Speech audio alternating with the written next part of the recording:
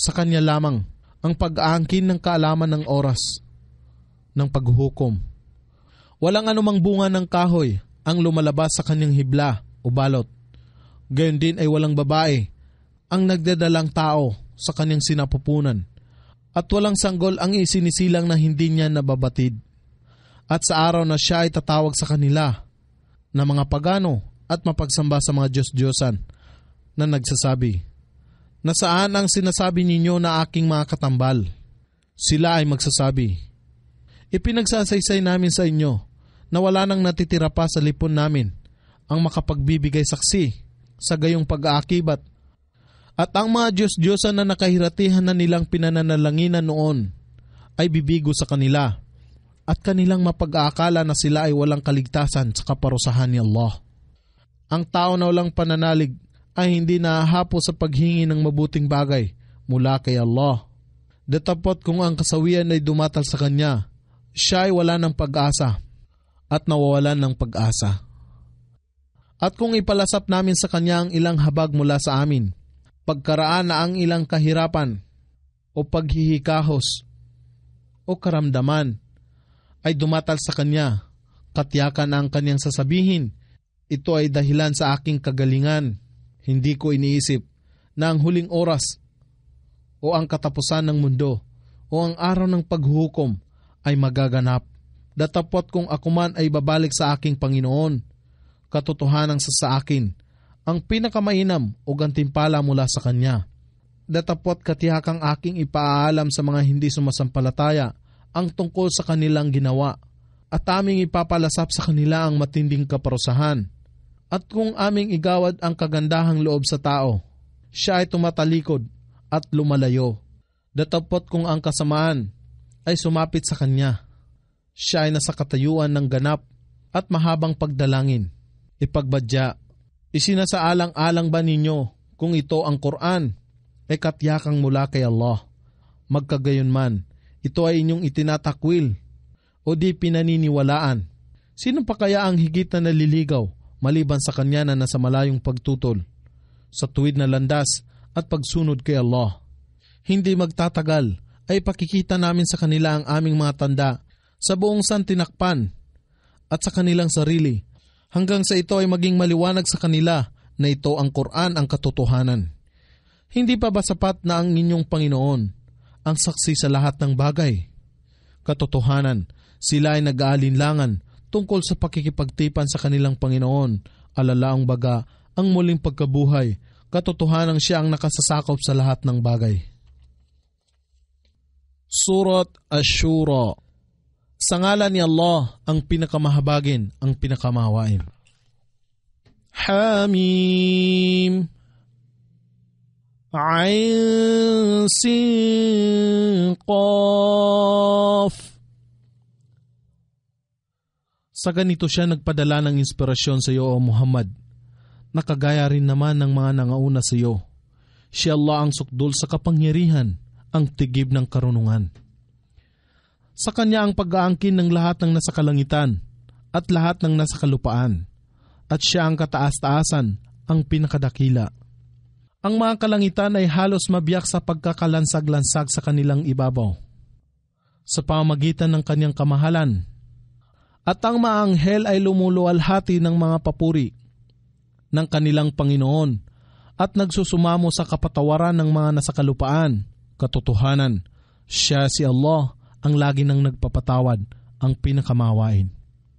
At sa kanila na tumatangkilik sa auliya, tagapagbantay, tagapangalaga, tagapagtaguyod, kawaksi, at iba pa na iba pa maliban sa kanya.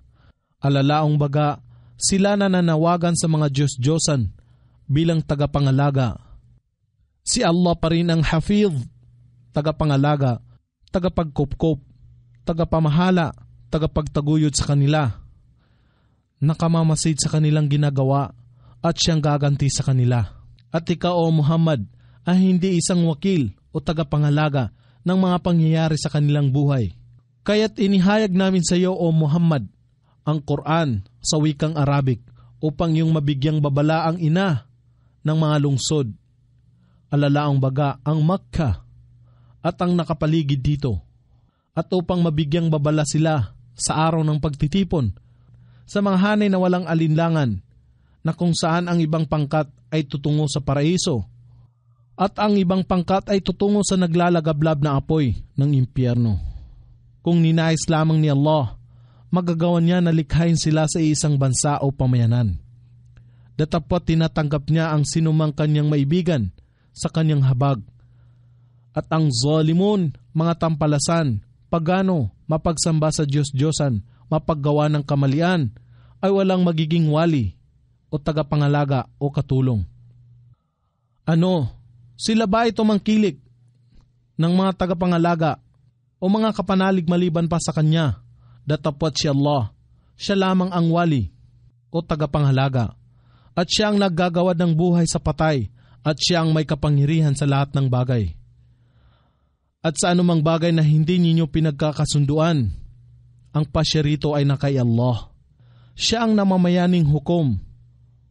Siya si Allah, ang aking Panginoon sa Kanya ako nagtitiwala at sa Kanya ako bumabaling sa lahat ng mga pangyayari sa akin at sa pagtitika. Siya ang tagapaglikha ng kalangitan at kalupaan. Ginawa niya para sa inyo ang inyong kabiyak o asawa mula sa inyong sarili. At gayon din ang kaparihang babae sa mga bakahan o hayupan. Sa ganitong paraan ay kanyang pinarami kayo. Walang ano pa mang bagay ang makakatulad sa kanya at siya ay ganap na nakakarinig ang lubos na nakamamasid. Sa kanya ang pag-aangkin ng mga susi ng kalangitan at kalupaan. Siya ang nagpapasagana ng ikabubuhay ng sinumang kanyang maibigan at naghihigpit din naman sa sinumang kanyang naisin. Katotohanan siya ang lubos na nakakaalam ng lahat ng bagay. Siya si Allah ang nagtakda sa inyo ng gayong ding pananalig, ang Islam, na kanyang itinakda o ipinag-utos kay Noah at gayon din ang aming ipinahayag sa iyo o Muhammad at gayon din ang aming ipinahayag kay Abraham, Moises at si Jesus na nagsasabi na kayo ay manatiling matimtiman sa pananalig at huwag kayong gumawa ng pagkakabahabahagi rito sa pananampalataya, alalaong baga, pagkakaroon ng iba't ibang sekta. Ang iyong ipinangangaral, o Muhammad, ito ay hindi katanggap-tanggap sa musyrikun mga mapagsamba sa Diyos-Diyosan, pagano, walang pananalig sa kaisahan ni Allah. Si Allah ang pumipili para sa kanyang sarili, ng sinumang kanyang mapusuan, at siya ang namamatnubay tungo sa kanya sa sinumang bumabaling sa kanya, sa pagsisisi at pagtalima. At sila hindi naging magkakahiwalay, walang pagbabahabahagi nung una, hanggang sa nang dumating lamang ang kaalaman. Ito ay mula sa mapanibughong pagkagalit sa pagitan ng kanilang sarili sa bawat isa. At kung hindi lamang sa salita o pag-utos na ipinangusap sa kanila noong una mula sa iyong Panginoon na nagpapaliban sa kaparusahan hanggang sa natataningang panahon, ang pangyayari ay malalaon ng pinairal sa pagitan nila at katotohanan, yaong mga ginawaran na magmana ng kasulatan, ng Tura, mga batas at Ibanghilyo pagkatapos nila na mga Hudyo at Kristiyano ay nasa nakababalisang pag-aalinlangan tungkol dito, alalaong baga sa relihiyon ni Allah, sa Islam o sa Quran. Kahit sa gayong relihiyon ni Allah, ang Islam at sa Quran, anyayahan mo sila o Muhammad na magbalik loob kay Allah at ikaw ay manatili sa tamang landas sa paraang ikaw ay pinag-utusan at huwag mong sundin ang kanilang mga kinikilingan bagkos ikaw ay magbadya. Ako ay nananalig sa anumang aklat na ipinahayag ni Allah ang Quran na ito. At ang maaklat ng Tura noong panguna at ang Ebanghelyo o ang mga kalatas ni Abraham at kayo ay pinagutusan na maging makatarungan sa inyo. Si Allah ang aming Panginoon at inyong Panginoon. Sa amin ang pananagutan ng aming mga gawa at sa inyo ang pananagutan ng inyong mga gawa Walang pagtatalo sa pagitan natin. Si Allah ang magtitipon sa atin at sa Kanya ang ating huling pagbabalik. At sa mga nagsisipagtalo-talo tungkol kay Allah, matapos na ito ay tanggapin ng mga tao, walang saysay ang kanilang mga pagtatalo-talo sa paningin ni Allah at sa sa kanila ang puot at sa kanila ay sasapit ang matinding kaparusahan. Si Allah ang nagpapanaog ng aklat, ang Quran, sa katotohanan at ng timbangan upang maging makatarungan. At ano ang makapagbibigay sa inyo ng kaalaman na marahil ang takdang oras ay nalalapit na. Sila na hindi na nanalig dito ay naghahangad na madaliin ito. Datapot ang mga sumasampalataya ay nangangamba rito. At nababatid nila na ito ang sukdol ng katotohanan. Katotohanan, ang mga nagtatalo-talo tungkol sa takdang oras ay katiyakang nasa pagkaligaw na malayo. Si Allah ang pinakamapagbigay, pinakamabuti sa kanyang maalipin. Siya ang nagkakaloob ng ikabubuhay ng sinumang kanyang maibigan. At siya ay tigib ng lakas, ang sukdol sa kapangyarihan. Sinumang magnais sa pamamagitan ng kanyang mga gawa ng gantimpala ng kabilang buhay kami ang magbibigay ng dagdag sa kanyang gantimpala. At sino mang magnais ng gantimpala sa mundong ito sa pamagitan ng kanyang mga gawa, ibibigay din namin ito sa kanya kung anuman ang nasusulat sa kanya. Datapwat siya ay walang magiging bahagi sa kabilang buhay. Ano? Sila ba ay mayroong mga katambal kay Allah? Mga huwad na Diyos-Diyosan na nag-atas para sa kanila ng isang relihiyon o pananampalataya na hindi sinang ayunan ni Allah at kung hindi lamang sa pag-uutos ng katarungan, ang pangyayari ay malaon ng napagpasyahan sa pagitan nila. At katotohanan, ang zalimun, mga tampalasan, pagano, mapagsamba sa mga Diyos-Diyosan, mapaggawa ng kamalian, ay may kasakit-sakit ng kaparusahan. Iyong mapagmamalas ang zalimun, mga tampalasan, pagano, sa araw ng paghuhukom na natatakot sa anumang kanilang kinita o pinagpaguran at katyakang ang bigat ng kaparusahan ay sasapit sa kanila. Datapot ang mga sumasampalataya sa kaisahan ni Allah at nagsisigawan ng kabutihan ay mapapasahar din ng mga bulaklak ang paraiso. Mapapasa kanila ang lahat ng kanilang hilingin sa harapan ng kanilang Panginoon. Katyakang ito ang pinakapangunahing kagandahang loob ng paraiso mula kay Allah. Ito ang biyaya ng paraiso na ibinibigay na magandang balita ni Allah sa kanyang maalipin na sumasampalataya sa kanyang kaisahan at gumagawa ng kabutihan. Ipagbadya o Muhammad, wala akong hinihinging pabuya sa inyo maliban sa pagmamahal ng tulad ng mga malalapit na kaanak. Alalaong baga, hindi siya nangangailangan ng kayamanan, salapi at iba pa sa kanyang pangangaral ng Islam. Datapot siya ay nakikiusap sa kanila na huwag siyang saktan bilang kanilang kaisa sa pamayanan. At siya ay kanilang sundin sa kanyang ipinangangaral. At sinuman ang gumawa ng anumang magandang bagay, igagawad namin sa kanya ang dagdag na kabutihan na katumbas nito. Katotohanan si Allah ay lagi nang nagpapatawad at lagi nang nagpapahalaga sa gawa ng mga sumusunod sa kanya. O sila ba ay nagsasabi, siya ay kumata lamang ng kasinungalingan laban kay Allah.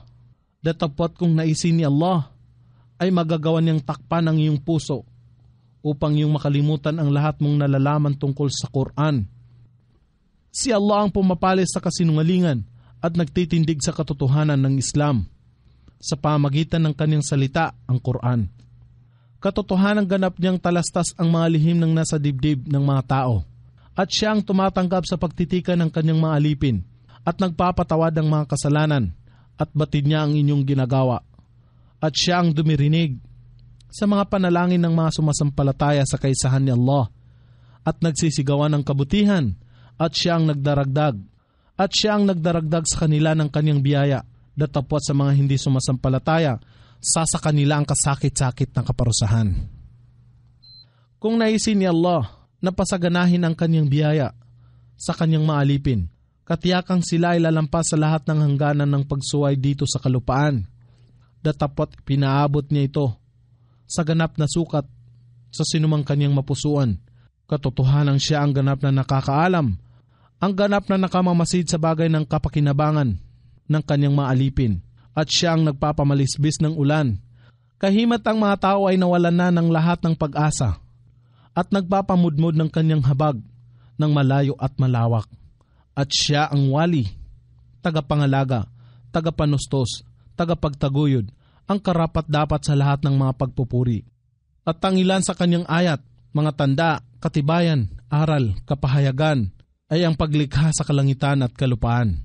At kung ano man ang kanyang ikinalat na mga nilikha sa kalawakan nito, at siya ay may kapangyarihan na titipunin sila ng sama-sama, alala ang baga, ang muli silang ibangon matapos ang kanilang kamatayan sa araw ng muling pagkabuhay, kailanmat kanyang naisin. At anumang kamalasan ang sumapit sa inyo, ito ay dahilan sa anumang kinita ng inyong mga kamay sa maraming kasalanan. Siya ay labis na nagpapatawad at kayo ay hindi makatatalili sa kalupaan. Alalaang baga sa kanyang kaparusahan at maliban kay Allah, kayo ay wala ng ibang wali, tagapangalaga, tagapagtaguyod, gayon din ng katulong. At ang ilan sa kanyang mga tanda ay ang mga barko na makinis na naglalayag sa karagatan, nawaring mga bundok. Kung kanyang naisin, magagawa niyang patigilin ang hangin. Sa gayon, ang mga ito ay hindi makagagalaw sa kanilang tiyan. Na nakasayad sa dagat, katotohanan, naririto ang mga tanda sa sinumang matimtiman, matsitsaga, at may loob ng pasasalamat. Umagagawa niyang wasakin sila sa pagkalunod dahilan sa kasamaan na kanilang ginawa at sa mga kasalanan. Siya ay labis na nagpapatawad. At sila na mga pagano mapagsamba sa mga Diyos-Diyosan na nagsisipagtalo-talo tungkol sa aming ayat, mga tanda, katibayan, kapahayagan, aral, ay makakaalam na wala silang lugar na matatakasan upang maligtas sa kaparusahan ni Allah. Kahit ang anumang bagay sa inyo ay pinagkaloob, ito ay sa lamang nagdaang kasiyahan sa makamundong buhay na ito. Datapat kung ano ang nakalaan mula kay Allah, alalaang baga, ang paraiso ay higit na mainam at nagtatagal sa mga sumasampalataya sa kaisahan ni Allah at nagbibigay ng kanilang pagtitiwala sa kanilang Panginoon sa lahat ng pangyayari sa kanilang buhay. Sila na umiiwas sa malaking kasalanan at mga kalasuan at kung sila ay nagagalit ay nagpapatawad at sila na dumirinig sa panawagan ng kanilang Panginoon at nagsasagawa ng sala o takdang pagdarasal at namamatnugot sa kanilang kapakanan sa pamagitan ng magkapanabay na pagsasanggunian at gumugugol sa kawang gawa sa anumang ipinagkaloob namin sa kanila. At sila na kung ang pang-aapi ay gawin sa kanila ay hindi nagduduwag at nagtutulungan upang ipagtanggol ang kanilang sarili. At ang kabayaran o sukli sa isang kasamaan ay isang kasamaan din na katulad nito. Datapwat sinumang magpatawad at makipagkasundo. Ang kanyang gantimpala ay mula kay Allah sapagkat si Allah ay hindi nagmamahal sa zalimun, mga tampalasan, buhong, buktot, mapang-api, mapagsamba sa mga Diyos-Diyosan, mapaggawa ng kamalian at katotohanan. Kung sino man ang maghiganti at magtanggol ng kanyang sarili, makaraang siya ay gawa ng kasamaan o kamalian. Ito ay hindi kasalanan at walang maisusumbat laban sa kanila ang sanhi o dahilan o layunin ay laban lamang doon sa kanya na ng api o gumagawa ng kamalian sa mga tao at tandisang nagmamalabi sa lahat ng hangganan ng pagsuway sa kalupaan na yumuyurak sa katuwiran at katarungan sa sa kanila ang kasakit-sakit na kaparusahan, datapwat katiyakan, kung sino man ang magpamalas ng pagtityaga at magpatawad. Walang pagsala na ito ang bagay na ikinalulugod ni Allah at sinumang naisin ni Allah na maligaw, walang sinumang wali o tagapangalaga ang sasa kanya maliban sa kanya kay Allah.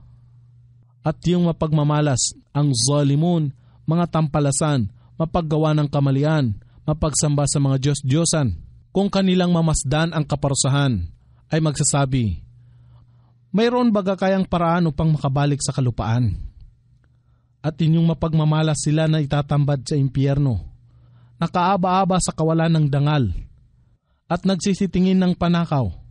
At ang mga sumasampalataya ay magsasabi, Katotohanan, ang mga talunan ay sila na nagpalungi ng kanilang sarili at kanilang pamilya sa araw ng muling pagkabuhay. Pagmasdan, ang zalimun, mga tampalasan, mapagsamba sa Diyos-Diyosan, mapaggawa ng kamalian, ay nasa walang hanggang kaparusahan. At walang sinumang tagapangalaga ang makatutulong sa kanila maliban kay Allah. At sino man na hinayaan ni Allah na maligaw, sa kanya ay walang paraan. Magsipakinig kayo sa panawagan ng inyong Panginoon.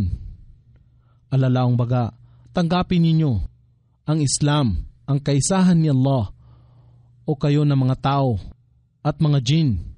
Bago dumatal sa inyong araw na hindi maaantala sa pag-utos ni Allah, wala kayong pagtataguan sa kaligtasan sa araw na ito. At gayon din naman ay hindi ninyo may pagkakaila. Ang inyong mga kasalanan na nakasulat na lahat sa talaan ng inyong mga gawa. Ngunit kung sila ay magsitalikod o Muhammad sa Islam, ikaw ay hindi namin isinugo upang maging tagapangalaga o tagapamahala sa kanila. Ang iyo lamang tungkulin ay upang iparating ang kapahayagan at katotohanan ng aming gawaran ang tao na malasap ang habag mula sa amin. Siya ang nagagalak dito, datapot kung ang ilang kahirapan ay sumapit sa kanila.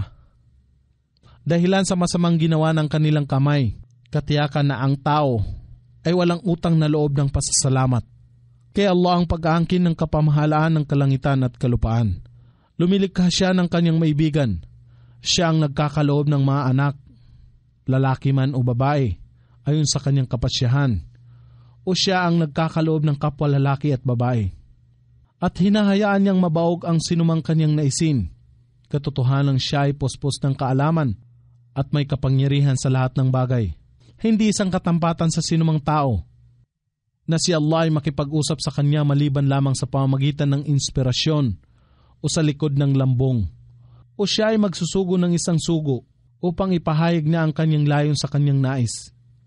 Katotohanan siya ang kataas-taasan, ang tigib ng karunungan. At sa gayon ay aming ipinadala sa iyo, O Muhammad, ang isang inspirasyon at habag mula sa aming pag-uutos. Hindi mo nababatid kung ano ang aklat gayon din kung ano ang pananampalataya. Datapot ginawa namin ito, ang Quran bilang isang liwanag, upang aming mapatnubayan ang sinuman sa aming alipin, na aming mapusuan. At katotohanang ikaw, O Muhammad, ay katunayang namamatnubay sa sangkatauhan, sa tuwid na landas, alalaong baga, sa Islam at sa kaisahan ni Allah. Sa landas ni Allah, na siyang nag-aangkin ng lahat ng nasa kalangitan at lahat ng nasa kalupaan. Katotohanan, ang lahat ng mga pangyayari ay nasa pagpapasya ni Allah. Surat Az-Zukhruf Sa ngalan ni Allah, ang pinakamahabagin, ang pinakamawain. Hamim Ako, si Allah, ay nanunumpa sa maliwanag na aklat, ang Quran. Katotohanang aming ginawa ang Quran sa wikang Arabic upang inyong maunawaan ang kahulugan nito at mga paalaala. At katotohanan ito, ang Quran, ay nasa ina ng aklat, al-lawh al-mahfuz, na nasa amin, at katiyakang mataas sa karangalan at tigib sa karunungan.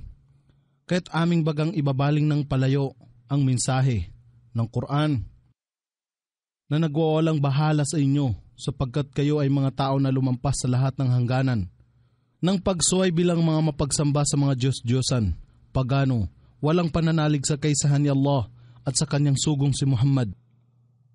At ilan na nga ba ang propeta na aming isinugo sa mga tao noon pang una? At walang sinumang propeta ang dumatal sa kanila na hindi nila pinagtawanan at tinuya. Kaya't aming winasak ang mga tao na higit ang lakas kaysa rito.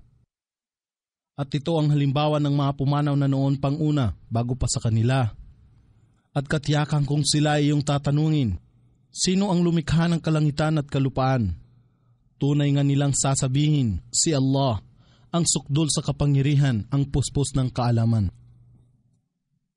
Na siyang lumikha sa kalupaan, na tila higaan o nakalatag, at gumawa sa inyo rito ng mga daan, upang kayo ay mapatnubayan. At siya na nagpapamalisbis sa tuwi-tuwina ng ulan, mula sa alapap sa ganap na sukat at sa pamamagitan nito ay aming pinasigla sa pagkabuhay ang lupaing tigang. Sa gayon ding paraan, kayo ay babangon mula sa mga patay.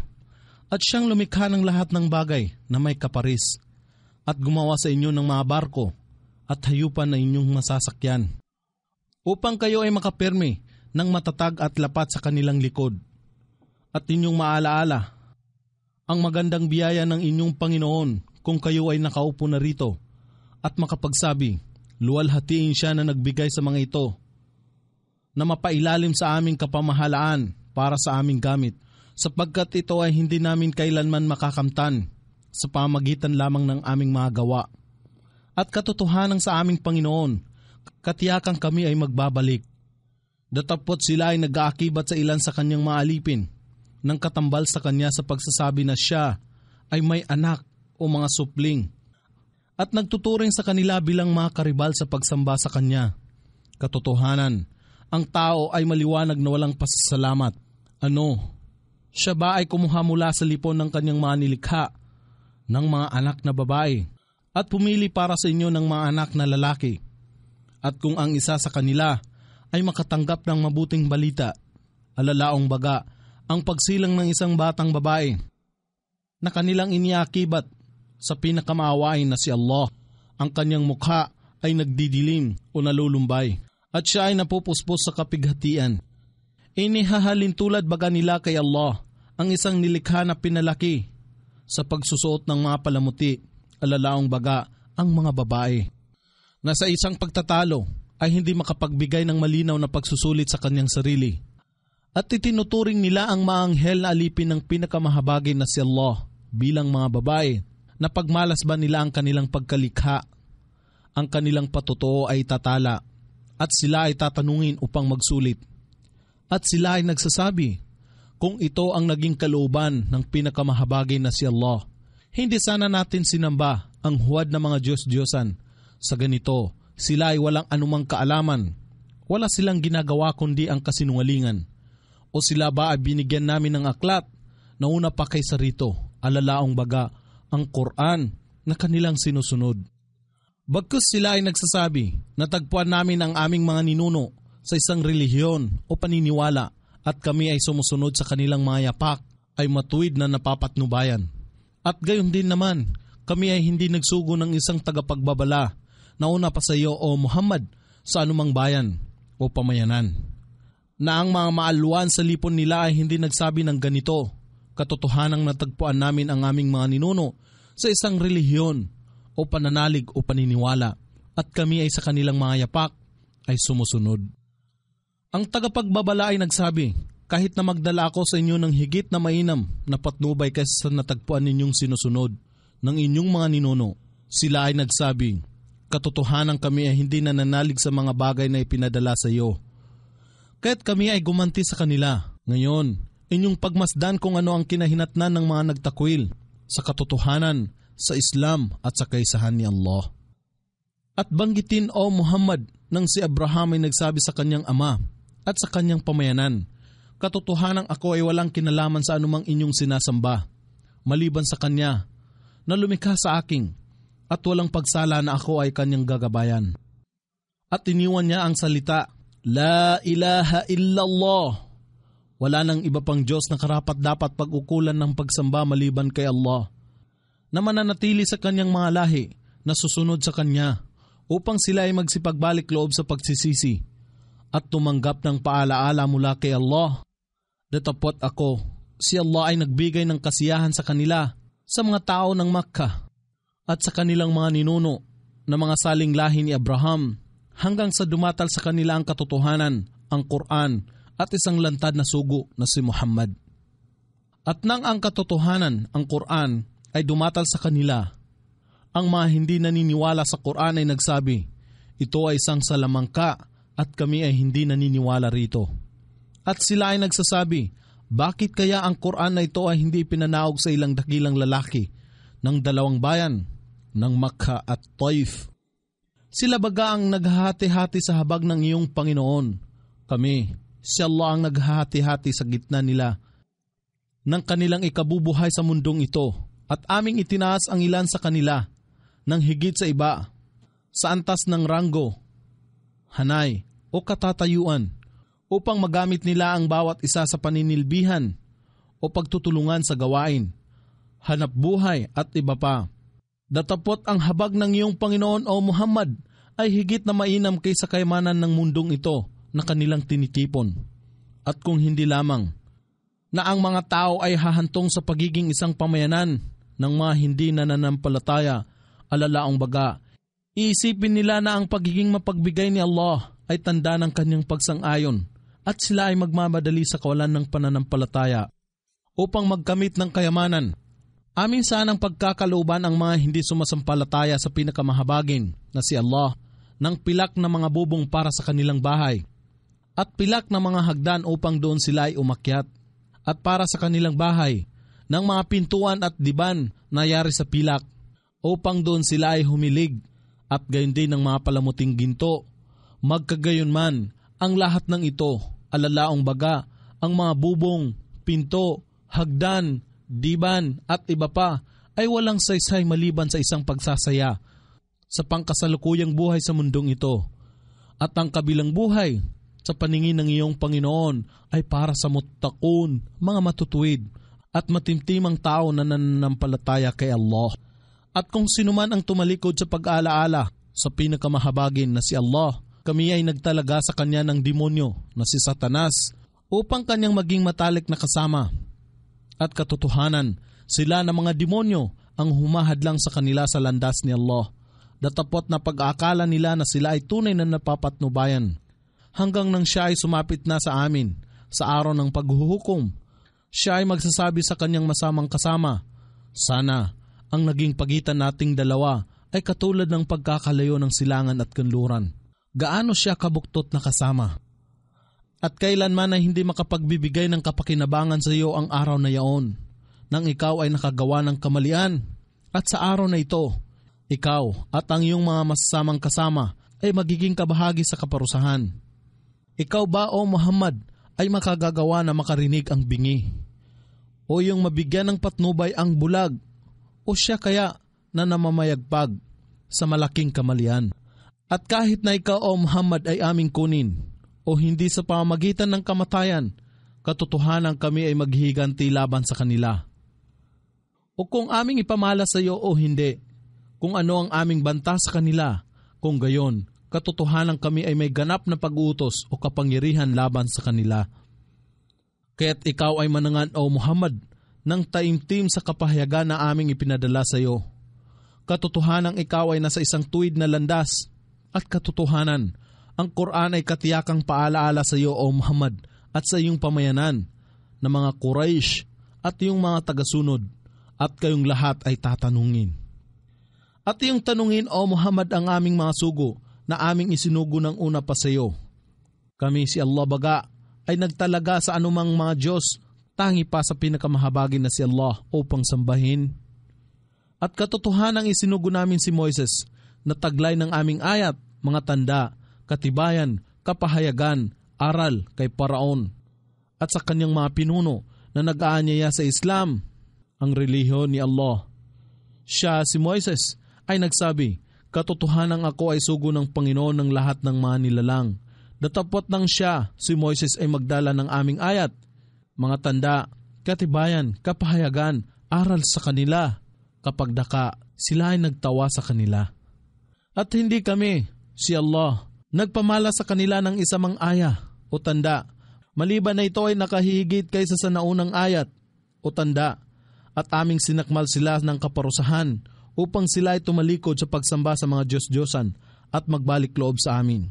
At sila ay nagsabi kay Moises, O ikaw na manggagaway, Tawagan mo ang iyong Panginoon para sa amin nang ayon sa kanyang kasunduan sa iyo. Katotohanan kami ay tatanggap ng patnubay. Datapwat ng aming palisin. Ang kaparusahan sa kanila, pagmasdan, sila ay sumira sa kanilang salita na sila ay mananampalataya kung aming ibsan ang kaparusahan sa kanila. At si Paraon ay tumawag sa kanyang pamayanan na nagsasabi, O aking pamayanan, hindi baga ang pamamahala sa Ehipto ay tanging sa akin lamang at sa mga ilog na nagsisidaloy sa ilalim ng aking kinatatayuan. Hindi baga ninyo na pagmamalas? Hindi baga ako ay higit na mainam sa kanya, si Moises? Siya na walang dangal at hindi ginagalang, mahina at kasuklam-suklam, at halos hindi makapangusap sa kanyang sarili ng maliwanag. Bakit kaya hindi siya ginawaran ng mga gintong polseras? O di kaya ang maanghel ay pinasama sa kanya. Sa ganito nilindang at iniligaw ni Paraon ang kanyang pamayanan at sila ay sumunod sa kanya. Katotohanan sila ay fasikun, mga tao na palasway at mapaghimagsik kay Allah. Kaya't nang kami ay kanilang pinagalit, aming pinarusahan at nilunod silang lahat at aming ginawa silang halintulad bilang aral sa mga susunod na henerasyon pagkatapos nila at bilang halimbawa sa mga darating na henerasyon. At nang ang anak ni Maria ay hinirang na isang halimbawa, alalaong baga, si Jesus ay sinasamba na tulad ng kanilang mga Diyos-Diyosan. Pagmasdan, ang iyong mga tao ay nagkakamayaw sa pagtatawa.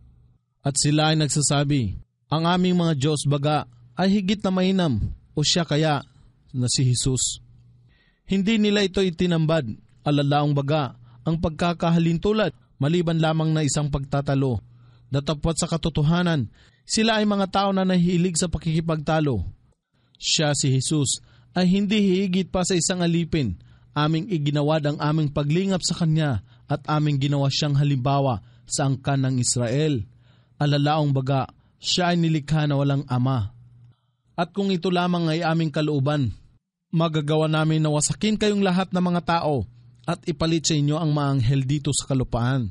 At siya, si Jesus na anak ni Maria, ay magiging isang tanda sa pagdating ng oras, ang araw ng muling pagkabuhay, na si Jesus ay mananaog sa lupa bago dumatal ito.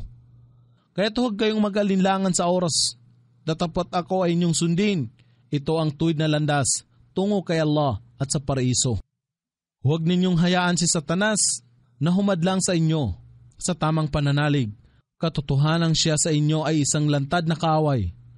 Nang si Jesus ay dumatal na may maliwanag na mga katibayan mula sa amin, siya ay nagsabi, Ako ay dumatal sa inyo na may hikma o karunungan ng isang propeta upang aking gawing maliwanag sa inyo ang ilan sa mga bagay-bagay na inyong pinagtatalunan, kahit inyong pangambahan si Allah at ako ay inyong sundin. Katotohanan si Allah, siya ang aking Panginoon at inyong Panginoon, kaya tanging siya ang inyong sambahin. Ito lamang ang matuwid na landas. Datapot ang iba't ibang sekta sa lipon nila ay hindi sumang-ayon at humiwalay. Kaya't kasawian sa mga gumagawa ng kamalian, sa kaparusahan ng kahindik-hindik na araw, ang araw ng muling pagkabuhay, sila bagay nagsisipaghintay lamang sa oras na ito ay dumatal sa kanila ng kaginsa-ginsa habang ito ay hindi nila napag-aakala. Ang mga magkakaibigan sa araw na ito ay magiging magkaaway, ang bawat isa sa kanila. Maliban sa mutakon, mga matutuwid at matimtimang tao na nananampalataya kay Allah. Dito ay pagbabadya sa mga tunay na nananampalataya sa kaisahan ni Allah o aking mga tagapagsamba o alipin sa araw na ito ay walang pangangamba sa inyo, gayon din kayo ay hindi mamimighati. Kayo na mga nagsisampalataya sa aming ayat, mga tanda, katibayan, kapahayagan, aral at naging mga Muslim, buong ganap na nagsitalima sa kapasyahan at kaisahan ni Allah. Magsipasok kayo sa halamanan o paraiso. Kayo at ng iyong mga asawa sa kaligayahan sa buong paligid nila ay dudulot ang mga kubyertos at kupita na gawa sa ginto. Naroroong lahat ang anumang bawat na isin ng kanilang sarili o kaluluwa. Ang lahat ng bagay na magbibigay ligaya sa kanilang paningin at kayo ay magsisipanahan dito magpakailanman. At ito ang paraiso na itinakda sa inyo na inyong manahin dahilan sa inyong mabubuting gawa na ginawa ninyo sa buhay sa mundong ito. Naririto sa inyo ang masaganang bungang kahoy na inyong kakainin sa inyong maibigan. Katotohanan, ang mga makasalanan, mga tampalasan, kriminal, walang pananalig kay Allah ay nasa kaparusahan ng impyerno upang manahan dito magpakailanman. Ang kaparusahan ay hindi magbabawa sa kanila at sila ay hulog sa pagkawasak sa may matinding pagsisisi, kapighatian at kasawian at walang pag-asa. Kailanman ay hindi kami naging di makatarungan sa kanila datapot sila ay zalimun, mga tampalasan, mapagsamba sa Diyos-Diyosan, mapaggawa ng kamalian. Sila ay magsisitaghoy, O Malik, ang tagapagbantay ng impyerno, hayaan ang iyong Panginoon ay magbigay wakas sa amin. Siya, si Malik ay magsasabi, Hindi, katotohanan kayo ay mananatili rito magpakailanman. Tunay ngang, ihini, tunay ngang inihayag namin sa inyo ang katotohanan sa pagsusugo kay Muhammad na may taglay na Quran, datapot ang karamihan sa inyo ay nasusuklam sa katotohanan. O sila ba ay nagpakana ng ilang balak, alalaong baga, pagsasabuatan, laban sa propeta. Datapot katotohanan kami rin ay nagpapakana ng isang balak o napag-aakala baga nila na hindi namin naririnig ang kanilang mga lihim at kanilang mga lingid na usapan at pagsasanggunian. Tunay nga, ang aming mga sugo na mga anghel na nagbabantay sa bawat tao ay nasa lipon nila upang magtala. Ipagbadya o Muhammad kung ang pinakamahabagi na si Allah ay may anak na lalaki o mga supling na inyong iniyakibat sa kanya. Kung gayon, ako ang magiging una na mga sasamba sa kanya. Ang anak na lalaki o mga supling. Kaya't ako ang unang nagtatatwa at sumasalansang sa inyong paniniwala at una sa mga sasampalataya sa kanya lamang at magpapatotoo na siya ay walang mga anak. Kaluwalhatian sa Panginoon ng kalangitan at kalupaan at sa Panginoon ng arsh o luklukan. Higit siyang mataas sa lahat ng mga inihahalin tulad sa Kanya. Kaya't hayaan sila na mangusap ng walang katuturan at magsipaglaro hanggang sa kanilang sapitin ang kanilang araw na sa kanila ay pinangako. Siya lamang si Allah, ang tanging Diyos sa kalangitan at Diyos sa kalupaan. At siya ay tigib ng karunungan at puspos ng kaalaman. At kapuri-puri siya na nag-aangkin ng lahat ng kaharian sa kalangitan at kalupaan at lahat ng nasa pagitan nito at nasa kanya lamang ang kaalaman sa huling oras at sa kanya kayong lahat ay magbabalik. At yaong mga sinasamba nila, maliban sa kanya ay walang anumang kapangyarihan upang makapamagitan. Maliban sa kanila nang nagbibigay saksi sa katotohanan, alalaong baga, ang makikinabang ay sila lamang na sumasampalataya sa kaisahan ni Allah at sumunod sa kanyang mga pag-uutos at kanilang nababatid na ang pamamagitan ay gagawad lamang sa kapahintulutan ni Allah sa sinumang kanyang naisin. At kung sila yung tatanungin kung sino ang lumikha sa kanila, walang pagsala na kanilang sasabihin, si Allah. Paano sila kung gayon naligaw? At si Allah ang kumikilala sa sinasabi ni Propeta Muhammad tungkol sa karaingan niya sa kanyang mga tao. O aking Panginoon, katotohanan sila ang mga tao na hindi sa sampalataya, kaya tumalikod ka o Muhammad sa kanila.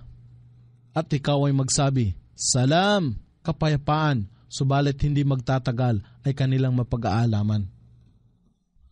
Surot Ad-Dukhan Sa ngalan ni Allah, ang pinakamahabagin, ang pinakamawain. Hamim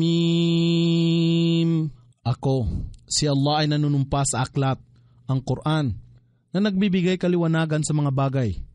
Katotohanang ipinanaog namin ito, ang Quran, sa oras ng pinagpalang gabi, alalaong baga, ang gabi ng Qadr, sa buwan ng Ramadan, ang pangsiyam na buwan ng kalendaryong Islamiko.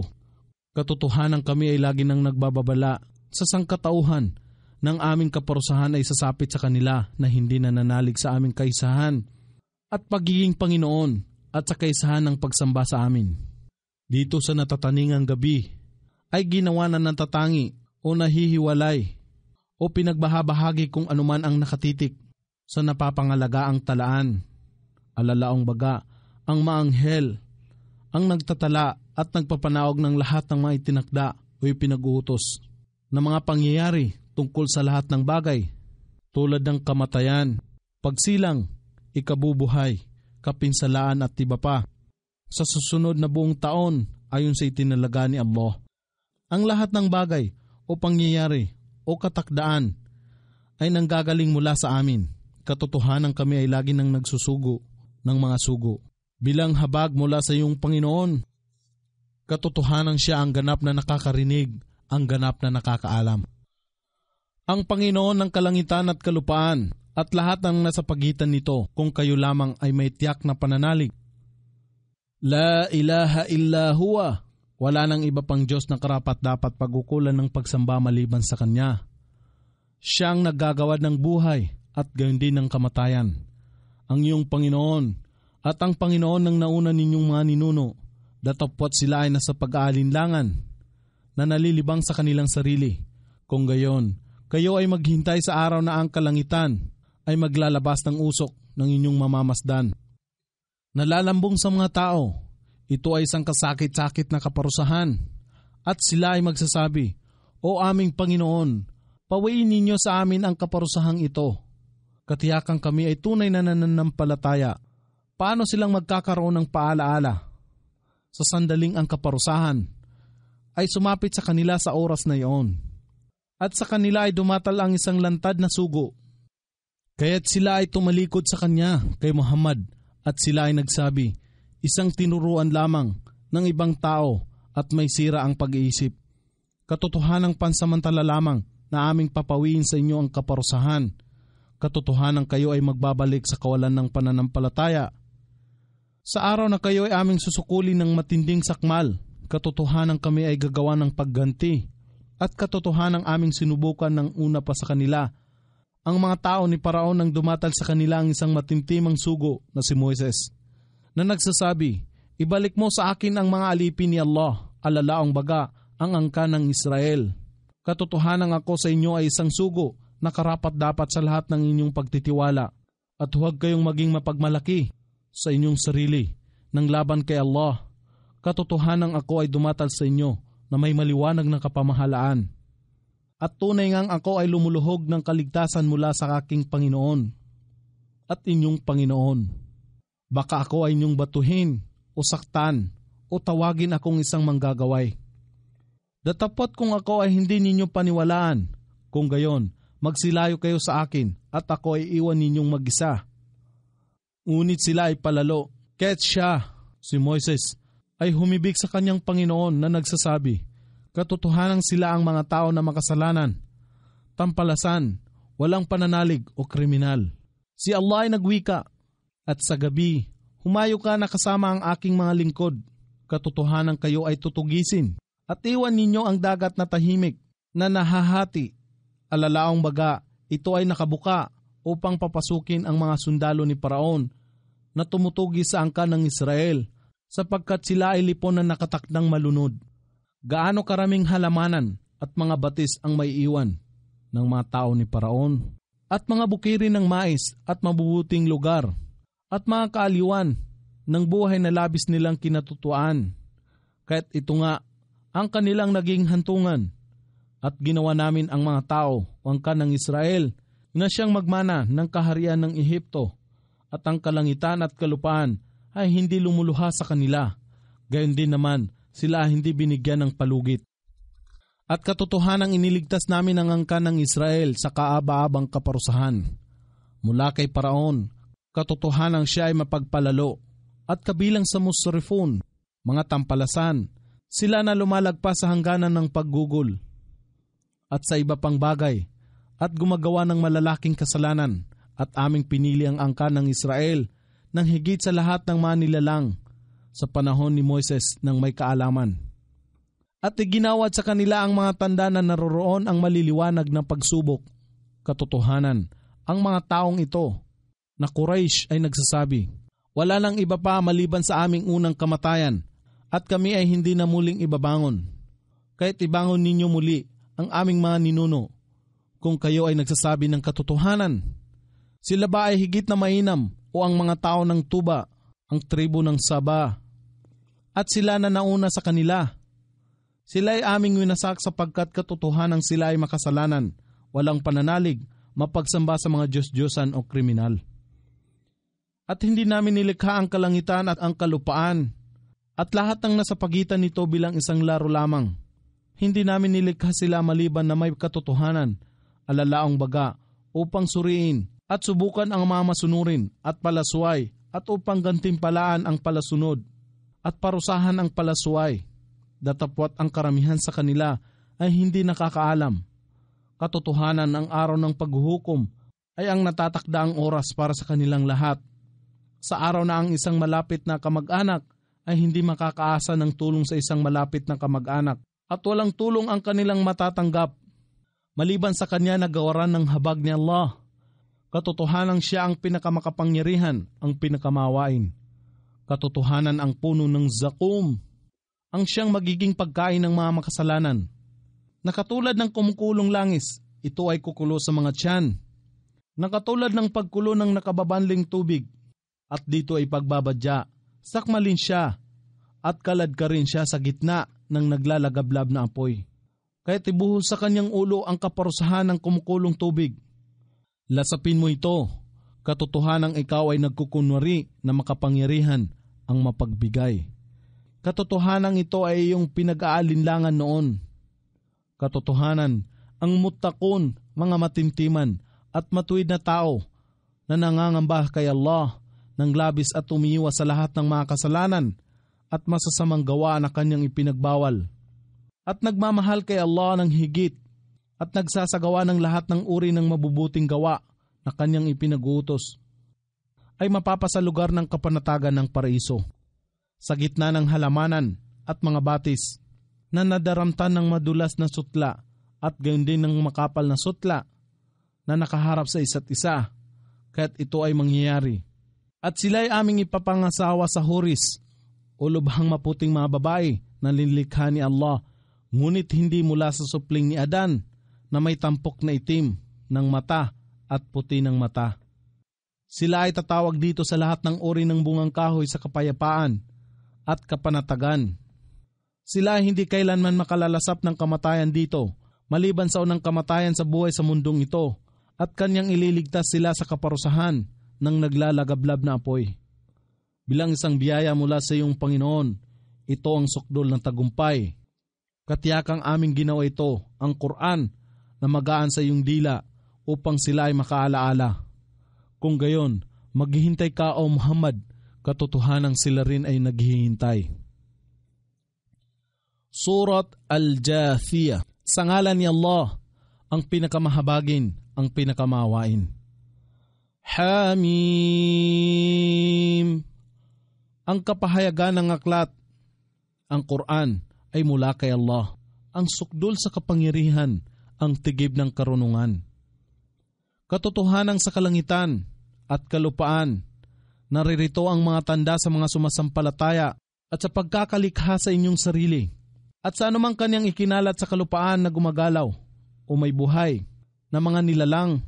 Ito ay mga tanda para sa mga tao na may matibay at tiyak na pananalig at sa pagpapalitan ng araw at gabi at sa anumang ipinanaog na panustos ni Allah mula sa alapap, alalaong baga, ang ulan at nagbigay buhay sa tigang na lupa at sa pagbabago ng direksyon ng ihip ng hangin, alalaong baga kung minsan ay patungo sa silangan o hilaga at kung minsan ay patungo sa timog o kanluran. At kung minsan ay nagdadala ng masayang balita ng ulan, at kung minsan ay nagdadala ng kaparusahan o bagyo, ito ay mga tanda para sa mga tao na may kaalaman at pangunawa. Ito ang ayat, mga tanda, kapahayagan, katibayan, aral ni Allah na aming ipinahayag sa iyo o Muhammad ng may katotohanan. Kaya't sa ano pa kayang pahayag ang alinsunod kay Allah at sa kanyang ayat o mga katibayan, aral, kapahayagan, tanda, sila ay maniniwala. At kasawian sa bawat makasalanan na mapagkunwari na nakakarinig sa mga talata ni Allah na ipinahayag sa kanya, datapwat siya ay matigas at mapagmataas na wari bang wala siyang naririnig. Kung gayon, ipagbadya sa kanya ang kasakit-sakit na parusa. At kung siya ay makaalam ng ilan sa aming mga talata, ang Quran, tinatanggap nito ng may panunuya sa ganitong mga tao ay may kaaba-abang parusa. Sa unahan nila ay impyerno at walang kapakinabangan sa kanila ang anumang kanilang pinagpaguran o kinita. Gayon din ay walang kapakinabangan sa kanila ang mga tinangkilik nila na auliya, mga tagapangalaga, kawaksi, tagapagtanggol maliban kay Allah. At sa kanila ang matinding parusa. Ito ang Quran, ang tunay na patnubay at sa mga nagtatakwil sa ayat, mga tanda, kapahayagan, katibayan, aral ng kanilang Panginoon. Sa kanila ang kasakit-sakit na parusa na kasuklam-suklam. Ipinailalim ni Allah sa inyong pag-uutos ang karagatan upang ang mga barko ay lumayag dito sa pamagitan ng kanyang kautusan upang kayo ay magsihanap ng kanyang mga biyaya at kayo ay magkaroon ng damdamin ng pasasalamat. At ipinailalim niya sa inyo sa kanyang kapahintulutan ang lahat ng nasa kalangitan at lahat ng nasa kalupaan. Ang lahat ng mga ito ay bilang kaloob at kabaitan mula sa Kanya. Katotohanang naririto ang mga tanda sa mga tao na nagmumuni-muni. Ipagbadya mo o Muhammad sa mga sumasampalataya na marapat nilang patawarin niya ang mga hindi umaasa sa mga araw ni Allah. Alalaong baga ang kanyang pagganti upang kanyang mabayaran ang mga tao. Alalaong baga sa kabilang buhay, yaong mga nagpatawad ay gagantimpalaan at yaong kumita ng kasamaan ay parurusahan. Ang kautusan sa talatang ito ay pinawalang saysay ng talata ng jihad, banal na pakikipaglaban, laban sa mga mapagsamba sa Diyos-Diyosan. Sino man ang gumawa ng matuwid na gawa, ito ay para sa kanyang sariling kapakanan. At sino man ang gumawa ng masama, ito ay gawa na laban sa kanyang sariling kaluluwa. Sa huli, kayo ay muling magbabalik sa inyong Panginoon at katotohanan noong panguna ay aming ipinagkaloob sa angkan ng Israel ang kasulatan at paghatol, pagkaunawa sa batas at pagkapropeta, iginawad namin sa kanila ang kanilang ikabubuhay, ang mga bagay na mainam at dalisay. At aming ginawaran sila ng higit na biyaya sa lahat ng mga nilalang sa kanilang panahon.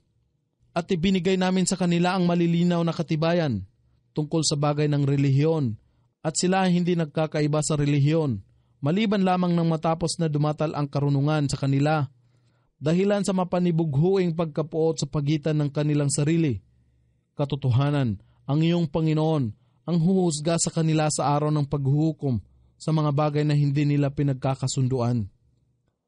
Kaya't inilagay ka namin, O Muhammad, sa isang ipinag-utos na paraan o landas tungkol sa bagay ng relihiyon Kaya't sundin mo ang landas o kaysahan ni Allah at Islam at huwag kang sumunod sa pagnanais ng mga walang kaalaman. Katotohanang ikaw ay hindi nila mapapangibabawan laban kay Allah sa ano paman. Katiyakan, ang zalimun, mga mapaggawa ng kasamaan, mapagsamba sa Diyos-Diyosan o buktot ay mga auliya o tagapanghalaga, tagapagtanggol sa isa't isa. Datapot si Allah ang wali o tagapangalaga, tagapagtanggol ng mutakun, mga matutuwid at matimtimang tao na labis na nangangamba kay Allah at umiwa sa lahat ng kasalanan at masasamang gawa at nagmamahal kay Allah ng higit na nagsasagawa ng mabubuting gawa na ipinag-utos ni Allah. Ito ang Quran ay maliwanag na pananaw at katibayan sa sangkatauhan at isang patnubay at habag sa mga tao na may matatag na pananalig ano? Sila baga na nagsisigawa ng kasamaan ay nag-aakala na sila ay tuturing namin na katulad ng mga nananampalataya sa kaisahan ni Allah at sa Islam? At nagsisigawa ng kabutihan na maging magkatulad ang kanilang pangkasalukuyang buhay at pagkatapos ng kamatayan. Tunay na kasamaan ang kahatulan ng kanilang ginawa at nilikha ni Allah ang kalangitan at kalupaan ng may kapakinabangan upang ang bawat kaluluwa ay makatagpo ng kabayaran sa kanyang kinita. At walang sinuman sa kanila ang hahatulan ng may kamalian. Napagmamasdan mo ba siya na nagtuturing sa kanyang pagnanasa na walang kapararakang hangarin bilang kanyang Diyos? Si Allah ang nakatatalo sa kanya ay hinayaan siya na naliligaw at sinarhan niya ang kanyang pandinig at kanyang puso sa pangunawa at naglagay ng lambong sa kanyang paningin. Sino baga kaya ang makakapamatnubay sa kanya? Pagkaraang alisin ni Allah ang kanyang patnubay. Kung gayon, hindi baga kayo mapapaalalahanan? At sila ay nagsasabi, mayroon pa ba kayang ibang buhay maliban sa aming buhay sa mundong ito? Kami ay mamamatay at kami ay nabubuhay.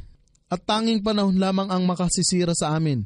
Datapot kong tungkol dito sa kabilang buhay. Sila ay walang kaalaman. Bagkos sila ay naghahaka-haka lamang. At kung ang aming mga talata ay dinadalit sa kanila bilang malilinaw na katibayan, ang kanilang panambitan ay walang iba kundi ito. Ibalik mong muli ang aming mga patay na ninuno sa pagkabuhay.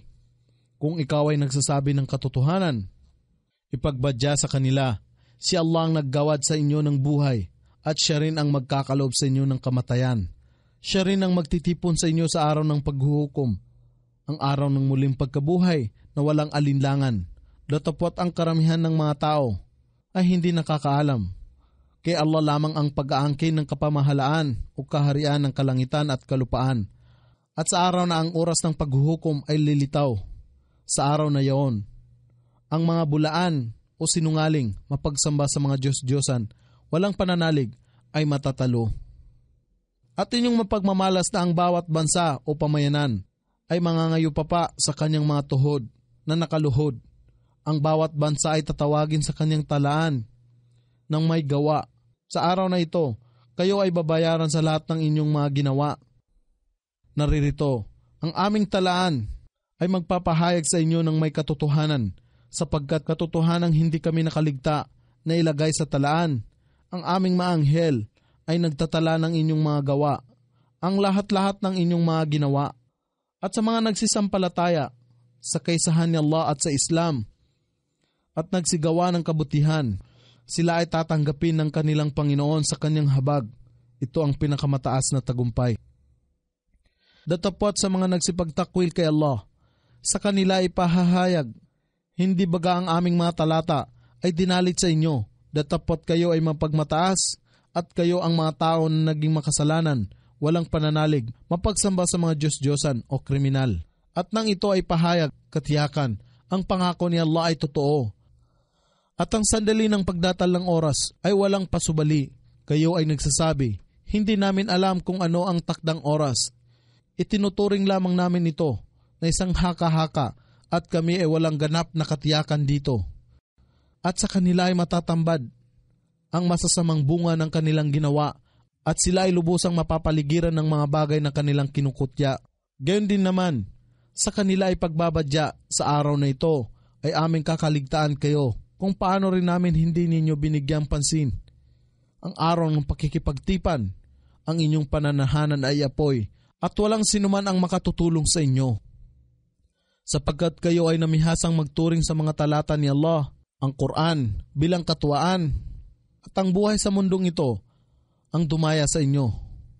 Kaya't mula sa araw na ito, sila hindi may aalis pa rito sa impyerno. Ni hindi na makakabalik sa makamundong buhay upang magsisi kay Allah at manikluhod sa kanyang kapatawaran sa kanilang mga kasalanan. Kaya't ang lahat ng pagpupuri at pasasalamat ay kay Allah lamang, ang Panginoon ng kalangitan at Panginoon ng kalupaan at Panginoon ng lahat ng mga nilalang. At tanging sa Kanya lamang ang pag-aangkin ng kapamahalaan o kamahalan sa kalangitan at kalupaan at siya ang sukdol sa kapangyarihan, ang tigib ng karunungan. Surat Al-Ahqaf Sa ngalan ni Allah, ang pinakamahabagin, ang pinakamawain. Hamim. Ang kapahayagan ng aklat, ang Quran ay mula kay Allah. Ang sukdul sa kapangyarihan, ang tigib ng karunungan. Hindi namin nilikha ang kalangitan at kalupaan at lahat ng nasa pagitan nito maliban sa katotohanan at sa isang natatakdaang panahon. Datapwat sila na nagtatakwil sa pananampalataya ay tumatalikod sa bagay na sila ay binabalaan. Ipagbadya o Muhammad hindi ba ninyo isinaalang-alang yaong inyong pinananalanginan maliban pa kay Allah? Ipamalas ninyo sa akin kung ano ang kanilang nilikha sa kalupaan o sila ba ay may kabahagi sa pagkalikha sa kalangitan. Dalhin ninyo sa akin ang isang aklat, ang ipinahayag ng una pa rito. Unang anumang latak ng karunungan na mayroon kayo kung kayo ay nagpapahayag ng katotohanan. At sino baga kaya ang higit na napapaligaw maliban sa Kanya, na nananawagan sa iba maliban pa kay Allah? Sa kanila na hindi makapagbibigay sa Kanya ng kasagutan hanggang sa araw ng paghuhukom at hindi man lamang nakakaalam sa kanilang mga panawagan sa kanila at kung ang sangkatauhan ay tipunin ng sama-sama sa araw ng muling pagkabuhay, sila na mga huwad na Diyos-Diyosan ay magiging mabagsik sa kanila bilang kaaway at itatatwa nila ang pagsamba ng mga tao sa kanila. At kung ang aming maliliwanag na talata ay dinadalit sa kanila, ang mga hindi sumasampalataya ay nagsasabi kung ang katotohanan, ang Quran, ay sumapit sa kanila, ito ay maliwanag na salamangka. O sila ba ay nagsasabi, kinatha, hinuwad o kinupya lamang niya ni Muhammad ito? Ipagbadya, kung kinatha ko lamang ito, magkagayon man, kayo ay hindi makapag-aangkin para sa akin ng kapangyarihan ng pangangalaga kay Allah sa ano paman. Lubos niyang batid kung ano ang inyong pinag-uusapan tungkol dito sa Quran. Sapat na siya bilang isang saksi sa pagitan ko at ninyo. At siya ay lagi nang nagpapatawad ang pinakamawain. Ipagbadya o Muhammad, ako ay hindi naiiba sa mga sugo ni Allah at ako ay hindi unang sugo. Gayon din ay hindi ko nalalaman kung ano ang magaganap sa akin o sa inyo. Sinusunod ko lamang kung ano ang ipinahayag sa akin at ako ay isa lamang lantad na tagapagbabala, ipagbadya. Hindi ba kayo nagsasaalang-alang kung ang aral na ito, ang Quran, ay mula kay Allah at itinatakwil niyo ito. At ang isang saksi mula sa angkan ng Israel, si Abdullah bin Salam, ay nagpapatunay na ang Quran na ito ay mula kay Allah na nakakahawig ng tura ang naunang kasulatan at sumasampalataya rito ang yumakap sa Islam habang kayo ay lubhang mapagpaimbabaw upang manalig. Katotohanan si Allah hindi namamatnubay sa mga tao na zalimun, mapagsamba sa mga Diyos-Diyosan, walang pananalig, mapaggawa ng kamalian, hindi makatarungan. Ang mga hindi sumasampalataya ay nagsasabi sa mga sumasampalataya, kung ito ang Quran, ang Islam, ay tunay na mabuti, hindi sila dapat manguna sa amin tungkol dito at ang hindi nila hinayaan na ang kanilang sarili ay mapatnubayan ng Quran. Sila ay nagsasabi, ito ay isang sinaunang kasinungalingan at bago pa rito ay mayroong aklat ni Moses bilang isang patnubay at habag. At ang aklat na ito, ang Quran, sa wikang Arabic ang nagpapatotoo. Roon sa unang aklat upang mapaalalahanan ang mga hindi makatarungan at bilang isang magandang balita sa mga nagsisigawa ng kabutihan, katotohanan sila na nagsasabi, Ang aming Panginoon, ang tanging si Allah, at sa ganito ay nananatiling matimtiman at naninindigan ng matatag at matuwid sa tamang landas sa pananalig sa Islam at kaysahan ni Allah at nagsisigawa ng kabutihan at umiiwas sa lahat ng mga kasalanan. Sa kanila ay walang pangangamba, gayon din sila hindi mamimighati. Sila ang magsisipanahan sa halamanan o paraiso at mananatili rito ng walang hanggan bilang isang kabayaran sa kanilang mabubuting gawa. At aming itinagubilin sa tao ang magpakita ng kabutihan at pagkamasunurin sa kanyang magulang. Sa pagbabata ng sakit, ang kanyang ina ay nagdalang tao sa kanya. At sa hirap ay kanyang isinilang siya. Ang pagpapalaki o pagpapasuso sa kanya na bata sa loob ng tatlumpong buwan at sa kalaunan. Kung siya ay sumapit na sa gulang ng hustong lakas at dumating na sa apat na pung taon. Siya ay nagsasabi, O aking Panginoon, ako ay gawaran ninyo ng lakas at kakayahan upang ako ay magkaroon ng pasasalamat sa inyong mga biyaya na inyong iginawad sa akin at sa aking magulang at upang ako ay makagawa ng kabutihan na magiging kalugod-lugod sa inyo at gayon din naman na ang aking mga anak ay maging mabuti. Katotohanan ako ay naninikluhod sa inyo sa pagsisisi at katotohanan na isa ako sa mga Muslim na tumatalima sa inyong kalooban. Sila ang mga tao na tatanggapin namin ang kanilang mabubuting gawa at kaliligtaan namin ang kanilang masasamang gawa. Sila ang mananahan sa paraiso, isang pangako ng katotohanan na sa kanila ay aming ipinangako. Datapwat siya ay nagsasabi sa kanyang magulang, Uff, isang salita ng pagkasuya at pagkainis sa inyo Ipinapangako ba ninyo sa akin na ako ay muling ilalabas o babangon mula sa kalupaan matapos ang kamatayan? Kahimat ang maraming salit-saling lahi ay namatay na noon pang una na hindi naman nagbangon sa muling pagkabuhay at sila ay nananalangin ng tulong ni Allah at sumalansang sa kanilang anak kasawian sa iyo. Magkaroon ka ng pananalig, katiyakan. Ang pangako ni Allah ay katotohanan Subalit siya ay nagsabi, ito ay wala ng iba maliban sa kwento ng panahong sinauna. Sila yaong ang salita ng kaparusahan laban sa kanya ay makatwiran sa lipon ng mga nakaraang henerasyon ng mga jin at tao na nangamatay na. Katotohanan, sila ang mga talunan at sa lahat ay mayroong maantas ayon sa kanilang mga ginawa upang kanyang si Allah magantimpalaan sila ng ganap sa kanilang mga gawa at walang anumang di katarungan ang igagawad sa kanila. At sa araw na ang mga hindi sumasampalataya sa kaisahan ni Allah at sa Islam ay tatambad sa apoy. Sa kanila ay pahahayag. Inaksaya ninyo ang inyong mabubuting bagay sa buhay sa mundong ito at nagpakasaya kayo dito. Ngayon, sa araw na ito, kayo ay susuklian ng kabayaran ng may parusa ng kaabahan sapagkat kayo ay naging mayabang na walang karapatan sa kalupaan at sapagkat kayo ay tantisang sumuway at nanghimagsik kay Allah. At gunitain, O Muhammad, ang isang kapatid na lalaki ng pamayanan ng Aad, alala ang baga, si Propeta Hud, nang pagsabihan niya ang kanyang mga tao sa dako ng Al-Ahqaf, ang likulikong landas at mabuhanging burol sa bahaging timog ng kalupaang Arabi.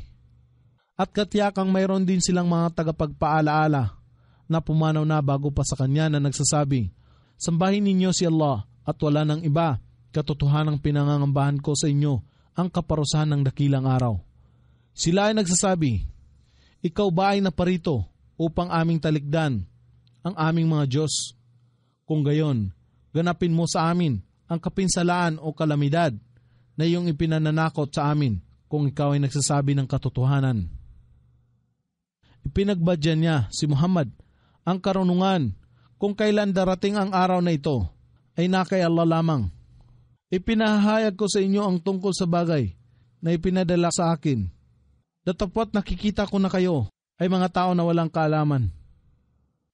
At nang kanilang mamamasdan ang makapal na ulap, napasadsad sa kanilang kapanatagan. Sila ay nagsabi, ang ulap na ito ay magbibigay sa atin ng ulan. Hindi, ngunit ito ay ang kalamidad o kaparusahan na inyong hinahangad na madaliin isang hangin na may kasakit-sakit na kaparusahan. Ang lahat ay mawasak nito sa pagutos ng kanyang Panginoon at sa kinaumagahan walang mapagmamala sa kanila maliban sa kanilang wasak na tirahan sa ganito namin sinusuklian ang mga tao na makasalanan, mapagsamba sa Diyos-Diyosan, walang pananalig at tampalasan. At katyakan aming ginawaran sila ng kasaganaan at kapangyarihan na hindi namin ay gawad sa inyo, o Quraysh, at ipinagkaloob namin sa kanila ang kanilang pandinig o mga tenga, pangmasid o mga mata, puso at katalinuhan, datapot walang naging kapakinabangan sa kanila ang kanilang pandinig, pangmasid, puso at katalinuhan, nang sila ay magpatuloy sa hindi pagtanggap sa tanda ni Allah, katibayan, kapahayagan, aral, at tanda, at sila ay nalukuban ng bagay na nakahiratihan na nilang nililibak. At katotohanang winasak namin noon pa manguna ang mga bayan o pamayanan sa paligid ninyo at paulit-ulit na ipinamalas namin ang mga tanda, katibayan, kapahayagan, aral sa kanila sa iba't ibang paraan upang sila ay magbalik loob sa amin sa katotohanan at sa kaisahan ni Allah at sa Islam. Bakit kaya walang dumaratal na tulong para sa kanila mula sa mga sinasamba nilang Diyos maliban pa kay Allah bilang isang paraan ng paglapit kay Allah. Hindi, ganap silang naglaho sa kanila. Nang dumating ang kaparusahan at ito ang kanilang kasinungalingan at mga gawang kabulaanan na pinagtagni-tagni lamang mula sa wala bago dumating ang kanilang pagkawasak. At alalahanin ng isinugo namin sa iyo, O Muhammad, ang iilan, tatlo hanggang sampo mula sa lipon ng jin na tahimik na nakikinig sa Quran at kung sila ay nakatindig habang ito ay binabasa, sila ay nagsasabi, makinig ng tahimik. At kung ang pagdalit ay natapos na, sila ay nagsisibalik sa kanilang pamayanan upang sila ay bigyan ng babala. Sila ay nagsasabi, O aming pamayanan, katotohanan ang aming napakinggan ng aklat, ang Quran, na ipinanaog pagkatapos ni Moises, na nagpapatotoo sa mga ipinahayag bago pa rito ito ay namamatnubay sa katotohanan at sa matuwid na landas, ang Islam. O aming pamayanan, magsitugon kayo ng may pagsunod sa Kanya, kay Muhammad, na nag-aanyaya sa inyo tungo kay Allah at manalig kayo sa Kanya. Paniwalaan ang mga ipinadala sa Kanya mula kay Allah at sundin siya. Siya si Allah ay magpapatawad sa inyong mga kamalian at kanyang iniaadya kayo sa kasakit-sakit na kaparusahan o impyerno. At sino naman ang hindi tumugon sa tagatawag o tagapag-anyaya ni Allah? Siya ay hindi makatataka sa kalupaan at walang sinumang tagapagtanggol o tagapangalaga ang makapagliligtas sa kanya sa kaporsahan maliban kay Allah. Sila ang nasa maliwanag ng kamalian. Hindi ba nila napagtatanto na si Allah na siyang lumikha ng kalangitan at kalupaan at hindi kailanman napapagal sa kanyang mga likha ay makapangyayaring magbigay buhay sa mga patay. Tunay nga, siya ay may kapangyarihan sa lahat ng bagay. At sa mga araw na ang mga hindi sumasampalataya ay tatambad sa harap ng apoy. Sila ay tatanungin, hindi ba ito ang katotohanan? Sila ay magsisipakli. Tunay nga, kami ay nagpapatotoo sa aming Panginoon. Si Allah ay magwika kung gayon. Inyong tamasahin ang kaparusahan sapagkat kayo ay hindi nagsisampalataya. Kaya't maging matyaga ka o Muhammad na kagaya rin ng ginawa noon ng mga sugo na may matatag na hangarin at huwag kang mawalan ng pasensya sa mga hindi sumasampalataya sa araw na kanilang mamamasdan ang kaparusahan na ipinangako sa kanila. Rito ay waribang sila ay hindi man lamang nagtagal ng isang oras sa buong maghapon. Ang iyong tungkulin ay upang ihatid lamang ang paalaala o sangkatauhan. Ang Quran na ito ay isang maliwanag na tagubilin o pahayag upang iligtas ninyo ang inyong sarili sa pagkawasak. Datapot walang mawawasak maliban sa mga mapaghimagsik kay Allah at lumalabag sa pagmamalabis. Surat Muhammad Sa ngalan ni Allah, ang pinakamahabagin, ang pinakamawain. Sila na nagtatakwil sa kaisahan ni Allah at sa mensahe ni Propeta Muhammad at humahad lang sa mga tao tungo sa landas ni Allah. Sa Islam, ang kanilang mga gawa ay hindi magwawagi kay Allah. Datapot sila ng mga sumasampalataya at nagsisigawa ng kabutihan at nananalig sa kapahayagan na ipinanaog kay Muhammad sapagkat ito ang katotohanan mula sa kanilang Panginoon ay papawiin niya sa kanila ang kanilang mga kasalanan at pagdurusa at pag-iibayuhin niya ang kanilang kalagayan na maging mainam. Sapagkat sila na nagtatakwil kay Allah ay sumusunod sa kabulaanan, ngunit sila ay sumasampalataya ay sumusunod sa katotohanan mula sa kanilang Panginoon sa ganitong pagtutulad ay pinadarama ni Allah sa mga tao ang mga ito upang sa kanila ay maging aral. Kaya't kung inyong makaharap sa labanan o jihad, makadiyos na pakikibaka tungo sa kapakanan ni Allah. Ang mga hindi sumasampalataya, hampasin ninyo ang kanilang liig hanggang sa kalaunan. Kung ang karamihan sa kanila ay inyong napatay o nasugatan, sila ay inyong talian ng panggapos ng mahigpit, alalaong baga, sila ay gawin ninyong bihag. Sa gayon, makaraan ito, naririto na ang sandali ng pagpaparaya, palayain sila ng walang tubos o ipatubos ayon sa kapakinabangan ng Islam. Hanggang ang hilahil ng digmaan ay humupa sa ganito, kayo ay pinagutusan ni Allah na ipagpatuloy ang pagsasagawa ng jihad laban sa mga hindi sumasampalataya hanggang sa sila ay yumakap sa Islam. Alalaong baga, ang mailigtas sila sa kaparusahan ng apoy ng impyerno o di kaya ay mapabilang sila sa ilalim ng inyong pangangalaga. Datapot kung ninais lamang ni Allah ay magagawan niya na matalo sila kahit na wala kayo. Datapot ninais niya kayo ay lumaban upang kayo at ang iba pa ay kanyang masubok. Datapot sila na nasawi dahil sa landas ni Allah. Hindi niya hahayaan na ang kanilang mga gawa ay mawalang saysay hindi magluluwat ay kanyang papatnubayan sila at pauunlarin ang kanilang kalagayan at kanyang tatanggapin sila sa halamanan o sa paraiso na kanyang ipinaalam sa kanila. Alalaong baga, malalaman nila ang kanilang lugar sa paraiso nang higit sa pagkaalam nila sa kanilang tahanan sa mundong ito. O kayong nagsisisampalataya, kung kayo ay tutulong sa relihiyon ni Allah, kanyang tutulungan kayo at ititindig niya ang inyong mga paa ng matatag. Datapot sila na nagtatakwil sa kaisahan ni Allah, sa sa kanila ang kapinsalaan, at si Allah ang magpapasya na wala silang matatamasa sa kanilang mga gawa. Datapot sila na nagtatakwil sa kaisahan ni Allah, sa sa kanila ang kapinsalaan, at si Allah ang magpapasya na wala silang matatamasa sa kanilang mga gawa.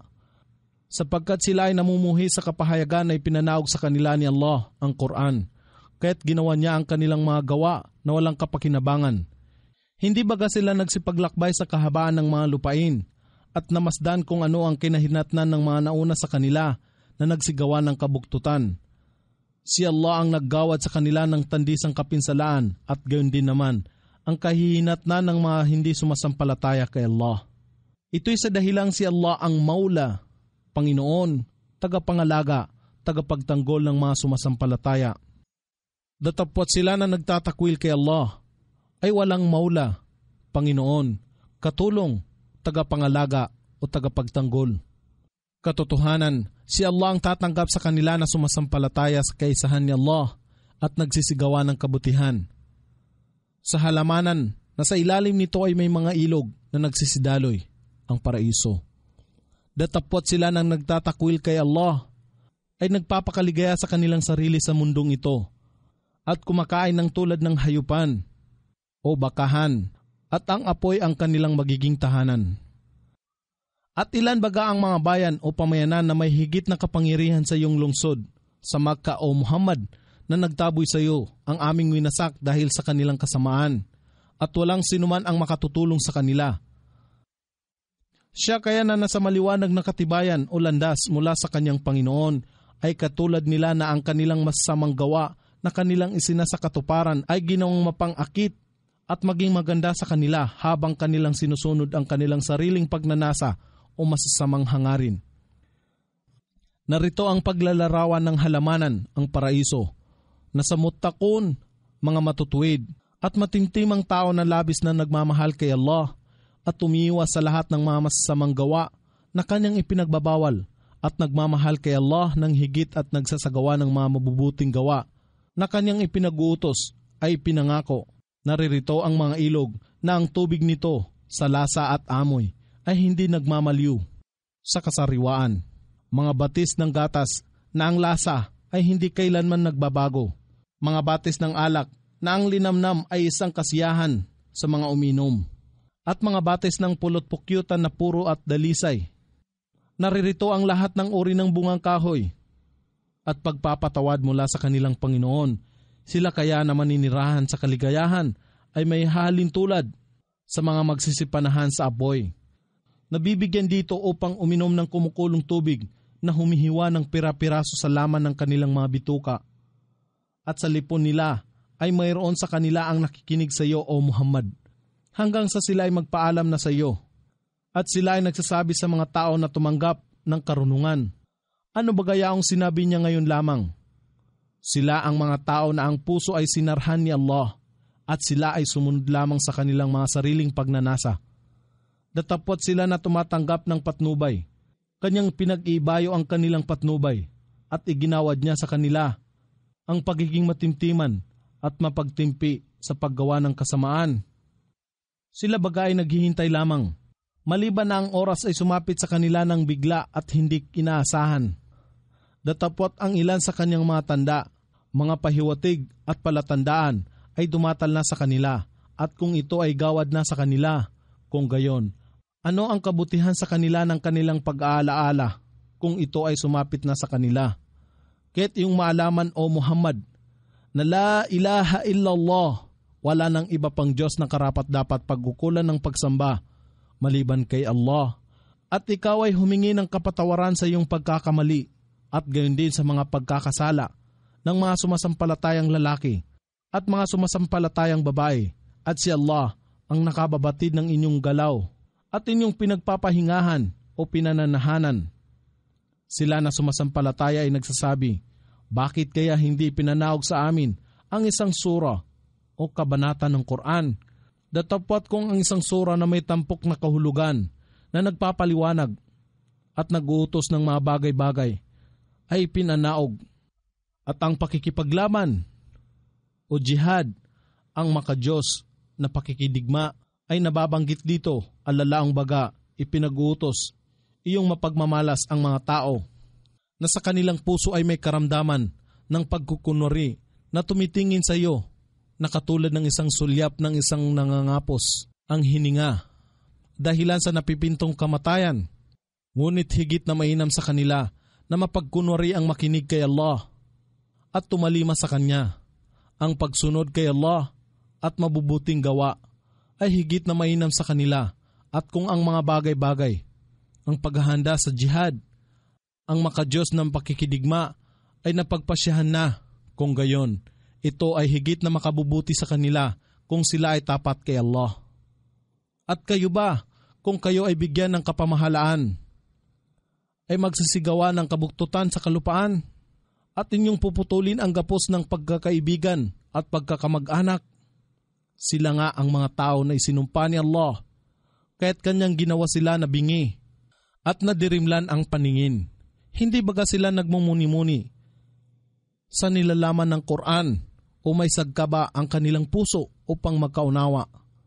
Katotohanan sila na nagsitalikod sa pananampalataya bilang mga hindi sumasampalataya, kahimat ang patnubay ay maliwanag na ipinamalas sa kanila.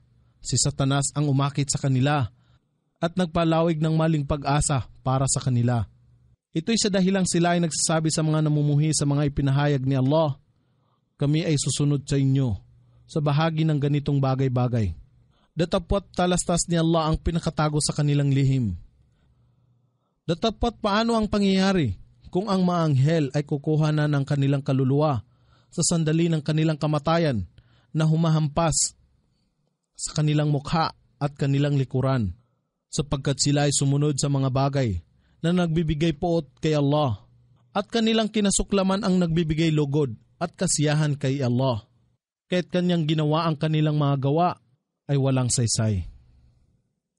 O sila kayang mga tao na sa kanilang puso ay may sakit ng pagkukunwari ay nag-aakala na si Allah ay hindi kailanman maglalantad ng kanilang damdamin ng pagkamuhi.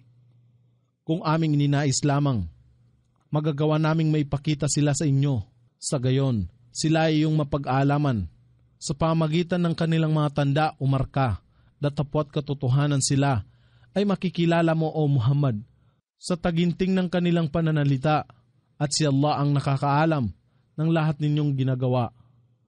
At katiyakan kayo ay susubukan namin hanggang sa aming masubok kung sino sa inyo ang nagsisikap ng lubusan tungo sa kapakanan ni Allah at may pagtityaga at pagtitiis. At aming susubukan ang inyong ipinahahayag, alalaong baga, kung sino ang sinungaling at sino ang nagsasabi ng katotohanan. Katotohanan sila na hindi sumasampalataya, na humahad lang sa mga tao tungo sa landas ni Allah sa Islam. At tumututol sa sugo na si Muhammad, kahimat ang patnubay ay malinaw na ipinamala sa kanila sila ay hindi makapagbibigay ng kahit na anumang maliit na kasahulan o pasakit kay Allah, bagkus ay kanyang gagawin ang kanilang mga gawa na mawala ng kabuluhan. O kayong nagsisisampalataya, sundin ninyo si Allah at sundin ang sugo na si Muhammad at huwag ninyong pawalang saysay ang inyong mga gawa. Katotohanan sila na hindi sumasampalataya at humahad lang sa mga tao tungo sa landas ni Allah, ang Islam, at namatay sa kalagayan ng kawalang pananalig si Allah hindi magpapatawad sa kanila. Kaya't huwag kayong mapagal at manglumo sa inyong puso at humibig ng kapayapaan sa mga kaaway ng Islam habang kayo ang nakakaangat.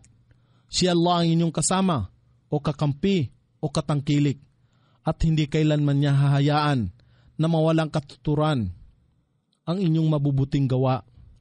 Katotohanan, ang buhay sa mundong ito ay sa lamang paglalaro at pagsasaya. Datapwat kung kayo ay mananampalataya sa kaisahan ni Allah at may pangangamba at lumalayo sa kasamaan, ipagkakaloob niya sa inyo ang inyong kabayaran o gantimpala at hindi niya hihilingin na isuko ninyo ang inyong kayamanan. Kung siya ay humiling sa inyo ng mga ito at pilitin kayo, kayo ay magtatangka na bimbinin ito at kanyang ilalantad ang inyong pagkamuhi, alalaong baga ang pag-ayaw. Pagmasdan, kayo ang mga inanyayahan na gumugol ng inyong yaman tungo sa landas ni Allah, datapwat sa lipon ninyo ay may mga sakim. At kung sinuman ang maging sakim, siya ay gumawa ng kapahamakan laban sa kanyang sarili. Datapwat si Allah ay masagana, hindi nangangailangan ng anuman, at kayong sangkatauhan ay mahirap at nangangailangan ng lahat. At kung kayo ay tumalikod sa Islam at sa pagtalima sa landas ni Allah, kanyang ipagpapalit kayo sa ibang mga tao at sila ay hindi ninyo magiging katulad. Surat Al-Fath Sa ngalan ni Allah ang pinakamahabagin ang pinakamawain.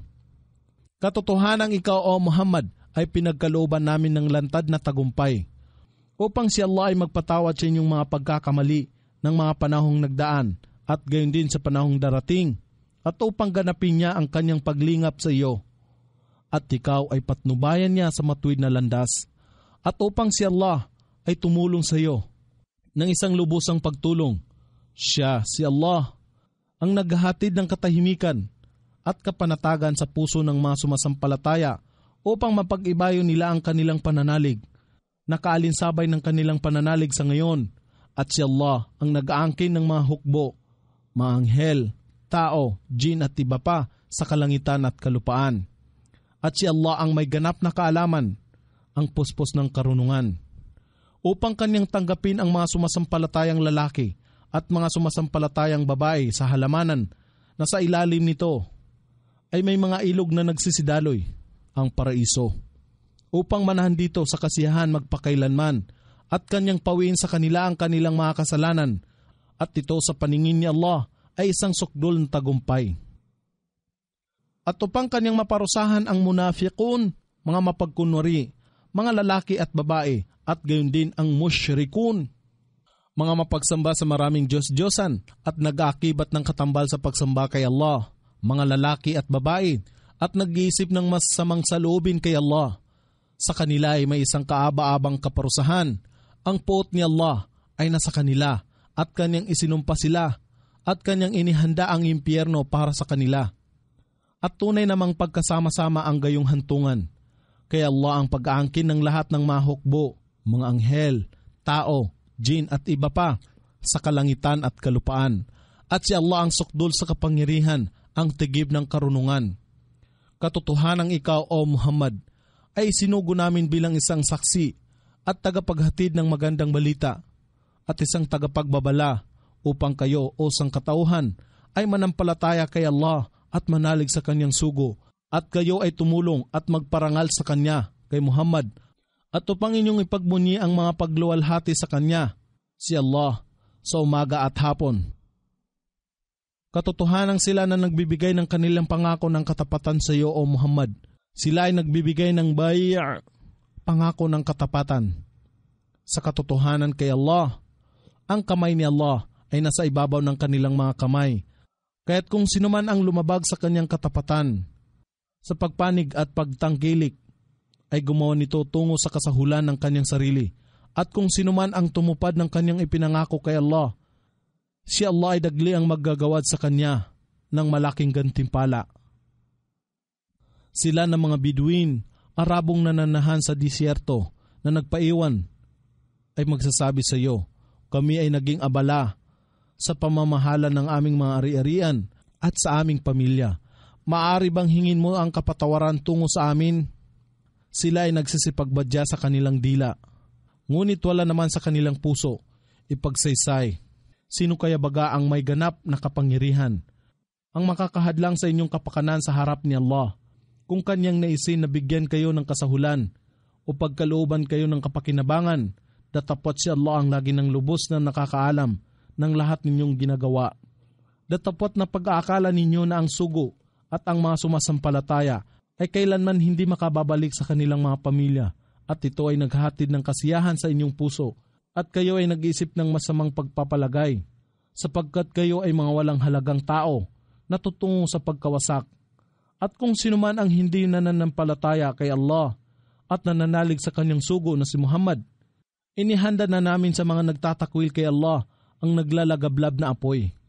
Kay Allah lamang ang paghahawak ng kapamahalaan ng kalangitan at kalupaan. Siya ang nagpapatawad sa sinumang kanyang maibigan at nagpaparusa sa sinumang kanyang maibigan at si Allah ay lagi nang nagpapatawad ang pinakamawain. Sila na nagpaiwan ay magsasabi, Kung kayo ay humayo na upang sinupin ang mga labi ng digmaan, kami ay payagan ninyo na sumunod sa inyo. Nais nila na baguhin ang salita ni Allah Ipagbadya, kayo ay hindi susunod sa amin. Ito ay winikana ni Allah noon paman. At sila ay magsasabi, Hindi, kayo ay nangingimbulo sa amin, datapot kakarampot lamang ang kanilang naunawaan sa gayong bagay. Ipagbadya o Muhammad sa mga Bidwin, mga Arabong nananahan sa disyerto na nagpaiwan. kayo ay patatawag upang makipaglaban sa mga tao na ibinigay sa makabuluhang labanan, kaya't kayo ay makikipaglaban sa kanila o sila ay susuko. Ngayon, kung kayo ay magpapakita ng pagtalima, si Allah ay magkakaloob sa inyo ng makatarungang gantimpala. Datapot kung kayo ay magsisitalikod na kagaya ng ginawa ninyong pagtalikod noong una, ay kanyang parurusahan kayo ng kasakit-sakit na kaparusahan. Dito ay hindi susumbatan o walang kasalanan ang bulag, gayon din naman ang lumpo o kaya ang may sakit kung sila hindi nakasama sa labanan. At sinuman ang sumunod kay Allah at sa kanyang sugo na si Muhammad, si Allah ay tatanggap sa kanya sa halamanan na sa ilalim nito ay may mga ilog na nagsisidaloy ang paraiso. At kung sino man ang tumatalikod, si Allah ay magpaparusa sa kanya ng kasakit-sakit na kaparusahan Katotohanan si Allah ay nalulugod sa mga sumasampalataya nang sila ay nagbigay ng pangako o panunumpa ng katapatan sa iyo o Muhammad sa ilalim ng punong kahoy. Batid niya ang nasa kanilang puso at siya ang nagpapanaog ng katahimikan at kapanatagan sa kanila at kanyang ginantimpalaan sila ng abot kamay na tagumpay. Bukod pa rito, maraming kapakinabangan mula sa mga labi ng digmaan ang kanilang matatamasa at si Allah ay sukdol sa kapangyarihan ang tigib ng karunungan. Si Allah ay nangako sa inyo ng maraming kapakinabangan mula sa mga labi ng digmaan na inyong matatamasa at ang mga ito ay daglian niyang ibinigay sa iyo at binigilan niya ang kamay ng mga tao na malapit sa inyo upang ito ay maging isang tanda sa mga sumasampalataya at upang kayo ay kanyang magabayan sa isang tuwid na landas. At ang iba pang kapakinabangan, mga tagumpay at mga labi ng digmaan na kanyang ipinangangako sa inyo na hindi abot ng inyong lakas at kapangyarihan na inihanda o itinakda noon pa ni Allah at si Allah ang may kapangyarihan sa lahat ng bagay.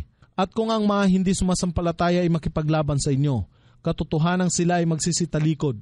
Sa gayon, sila hindi makatatagpo ng anumang wali o tagapangalaga, tagapagtanggol, gayon din ng tulong.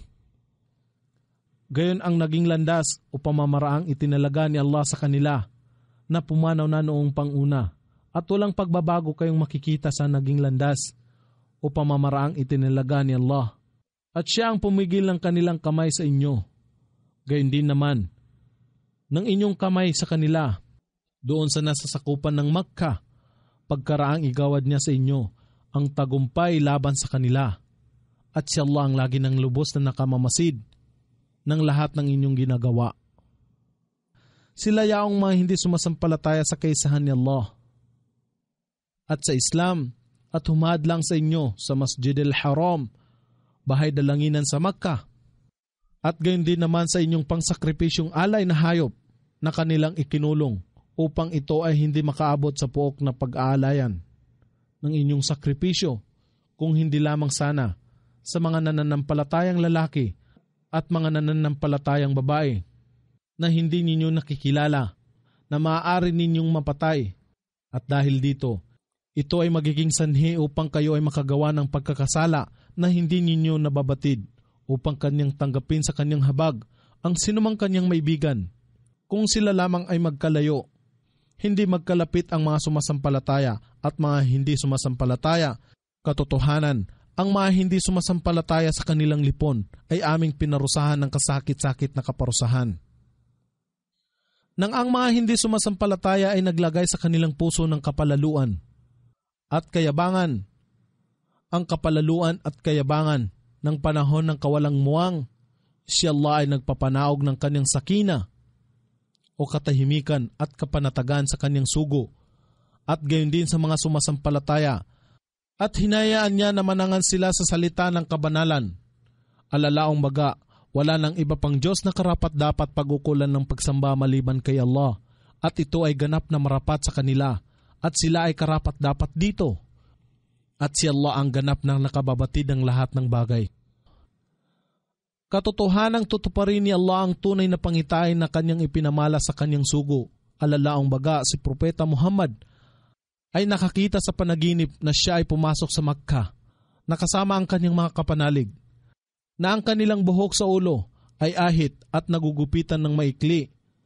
Sa tampok na katotohanan Katiyakan kayo ang magsisipasok sa Masjid al-Haram, bahay dalanginan, kung pahihintulutan ni Allah, na may panatag na kaisipan, na ahit ang kanilang buhok sa ulo, at ang ibang buhok ay pinutulan ng maikli at walang pangangamba, sapagkat nababatid niya ang hindi ninyo nalalaman, at nagkakaloob siya maliban pa rito ng abot kamay na tagumpay. Siya si Allah ang nagpadala ng kanyang sugo na si Muhammad ng may patnubay at ng pananampalataya ng katotohanan ang Islam. Upang kanyang magawa ito, ang Islam, na mangibabaw sa lahat ng pananampalataya at ganap na sapat si Allah bilang isang saksi.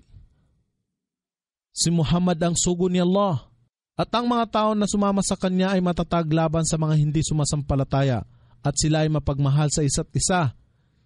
Iyong mapagmamalas sila na yumuyukod at nagpapatira pa sa kanilang pagdalangin na naninikluhod ng kasaganaan mula kay Allah at ng kanyang mabuting pagkalugod.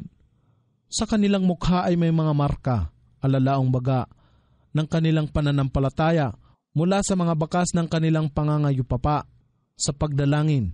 Ito ang nakakahalintulad nila sa Tura, mga batas, at ang nakakahalintulad nila sa Ebanghelyo ay ito, katulad nila ay buto na itinanim at bumukadkad sa pagtubo at naging matatag at sa kalaunan ay lumago at tumindig ng matuwid na nagbibigay sa mga nagtanim ng pagkamangha at kasiyahan.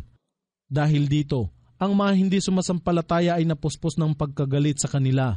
Si Allah ay nangako sa kanila na mga sumasampalataya. Alalaong baga, sila na mga sumusunod sa Islam at nananalig sa kaisahan ni Allah ang pananampalataya ni Propeta Muhammad hanggang sa araw ng muling pagkabuhay at nagsisigawa ng kabutihan ng pagpapatawad at ng isang malaking gantimpala. Surat Al-Hujurat Sa ngalan ni Allah, ang pinakamahabagin, ang pinakamawain. O kayong sumasampalataya, huwag ninyong gawin sa inyong sarili na pangunahan si Allah at ang kanyang sugo. Datapot panghambahan ninyo si Allah katotohanan si Allah ang ganap na nakakarinig at ganap na nakababatid sa lahat ng bagay. O kayong sumasampalataya, huwag ninyong itaas ang inyong tinig ng higit sa tinig ng propeta. At huwag din naman mangusap sa kanya ng malakas na katulad ng inyong pag-uusap sa isa't isa. Baka ang inyong mga ay mawala ng saysay habang ito ay hindi ninyo na pag-aakala. Katotohanan, ang mga nagbababa ng kanilang tinig sa harapan ng sugo ni Allah. Sila yaong ang puso ay nasubok na ni Allah. Sa kataimtiman at kabanalan, sa sa kanila ang kapatawaran at saganang gantimpala. Katotohanan, sila na tumatawag sa iyo o Muhammad sa likod ng mga silid tulugan. Ang karamihan sa kanila ay kapos sa pangunawa. Kung mayroon lamang silang pagtsitsaga na maghintay, hanggang sa sila ay iyong pakiharapan. Ito ay higit na mainam sa kanila at si Allah ay pinakamapagpatawad ang pinakamawain. O kayong sumasampalataya, kung ang isang mapaghimagsik at makasalanang tao ay dumatal sa inyo na may hatid na anumang balita, inyong tiyakin ang katotohanan, baka kayo ay makapinsala sa inyong kapwa dahilan sa kawalan ng kaalaman at sa bandang huli ay matigib kayo sa pagsisisi sa inyong nagawa. At inyong maalaman na sa lipon ninyo ay naroroon ang sugo ni Allah kung kayo ay kanyang susundin sa maraming mga bagay-bagay, alalaong baga, sa inyong mga kuro-kuro at hangarin, katiyakang kayo ay malalagay sa kahirapan. Datapwat si Allah ang gumawa na mapamahal sa inyo ang pananalig. At ginawa niya ito na maging kasiyasiya sa inyong puso at ginawa niya na inyong kamuhian ang kawalan ng pananalig, ang kabuktutan at paghihimagsik at hindi pagsunod kay Allah at sa kanyang sugo. Sila sa katotohanan ang matuwid na napapatnubayan. Isang biyaya at gantimpala mula kay Allah at si Allah ay tigib ng kaalaman at puspos ng karunungan. At kung ang dalawang pangkat sa lipon ng mga sumasampalataya ay humantong sa isang tunggalian, kung gayon, inyong pagkasunduin sila sa isa't isa, datapot kung ang isa sa kanila ay lumampas sa hangganan ng pagmamalabis laban sa isa, kung gayon.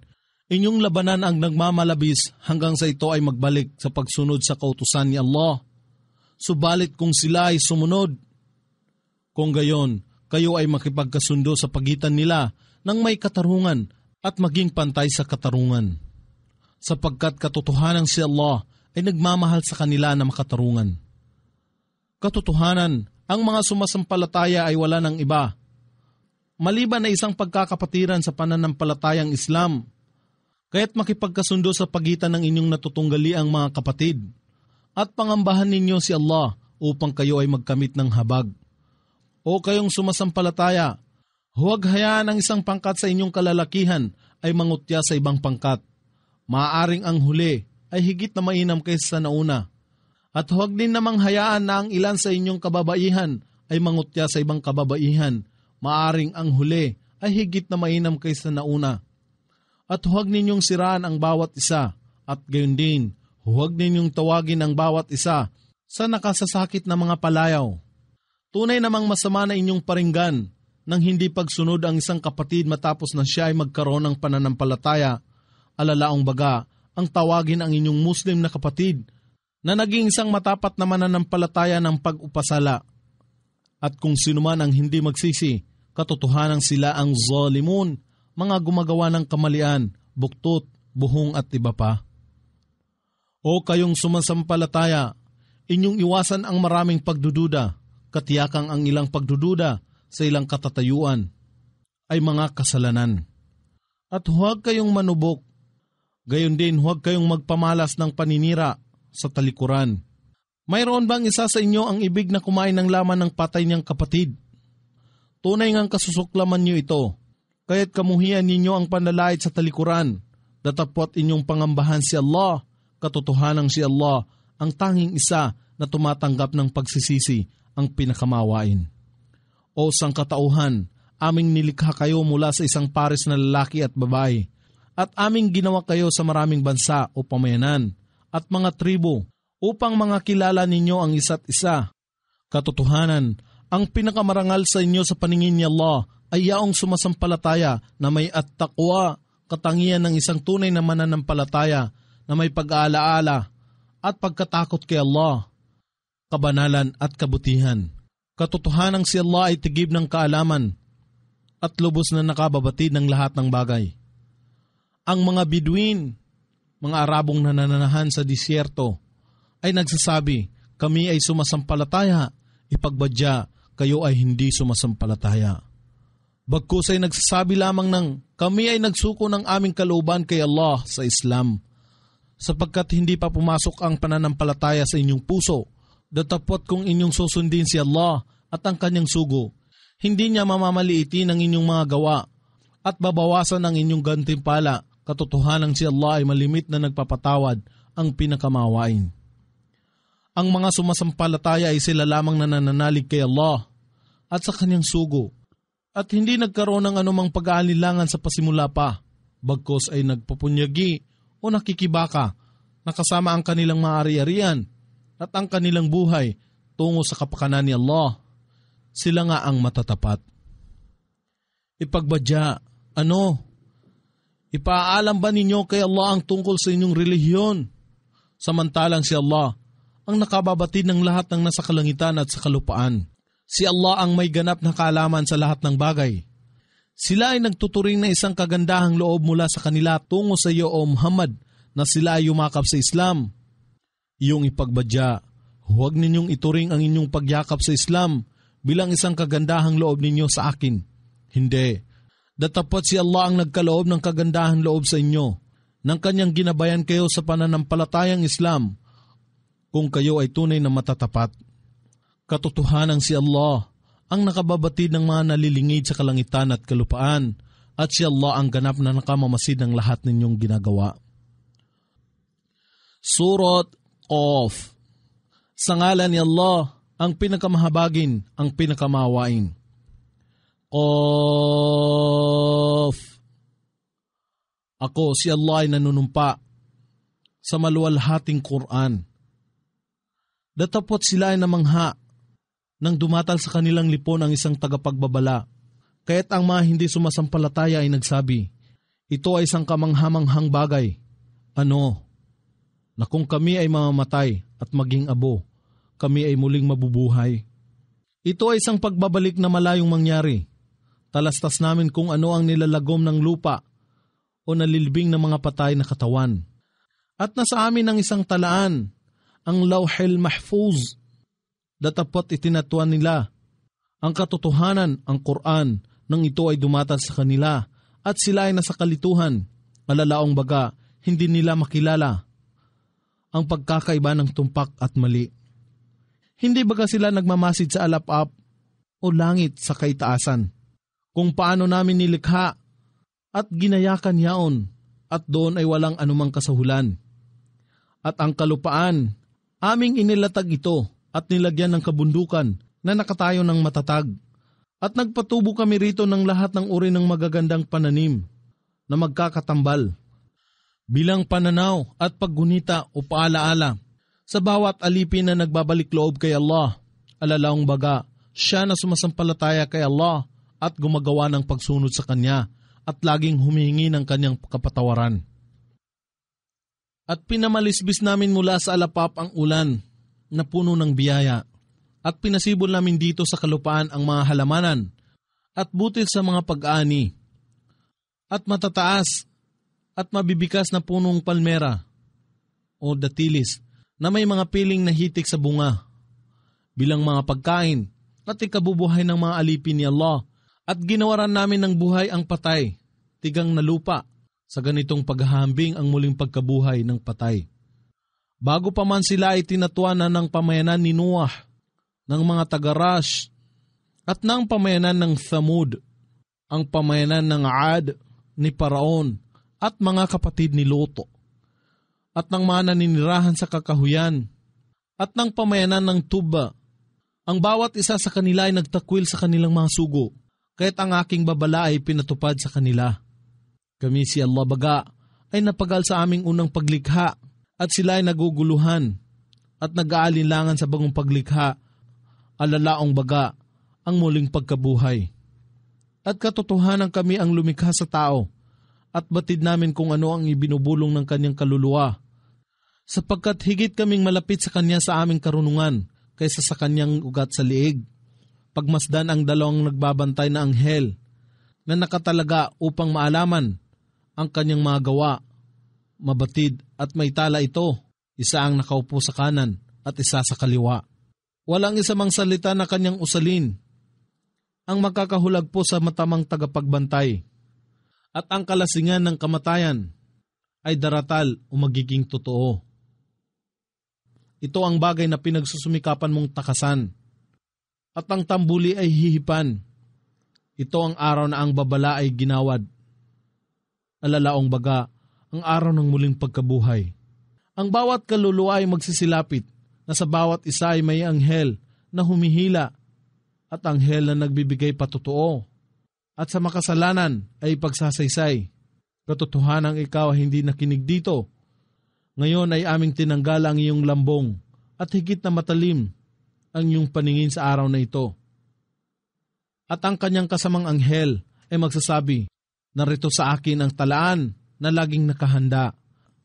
At dito ay pagbabadya sa dalawang anghel, kapwa ninyong itapon sa impyerno, ang bawat isang matigas ang ulo na walang pananalig sa kaisahan ni Allah sa kanyang masugo. Na nagbabawal sa mga mabubuti na nagmalabi sa hangganan ng pagsuway at nag-aalinlangan, na nagtuturi ng iba pang Diyos bilang katambal ni Allah, siya ay kapwa ninyo mga anghel. Itapon sa kasakit-sakit na kaparusahan. Ang kanyang kasama si Satanas ay magsasabi, O aming Panginoon, siya ay hindi ko itinulak na magmalabis sa pagsuway o kawalan ng pananalig, pang-api, kabuktutan, datapot siya sa kanyang sarili ay nasa kamalian at pagkaligaw na malayo. Si Allah ay magwiwika sa kanila. Huwag kayong magtalo sa aking harapan. Noon pa mang una, ako ay nagparating na sa inyo ng babala. Ang aking salita o pangako ay hindi magbabago at ako ay hindi maggagawad ng kahit isa mang katiting na di katarungan sa aking mga alipin. Sa araw na ito, aming tatanungin ang impyerno. Ikaw baga ay nalalagyan na ng husto ito ay magsasabi, mayroon pa bang ibang darating? At ang halamanan o paraiso ay tatambad ng malapit sa mutakon, mga matutuwid, at matimtimang tao na umiwas sa lahat ng mga pinagbabawal at sumusunod sa lahat ng mga pinag-uutos ni Allah. At dito ay pagbabadya. Ito ang ipinangako sa inyo.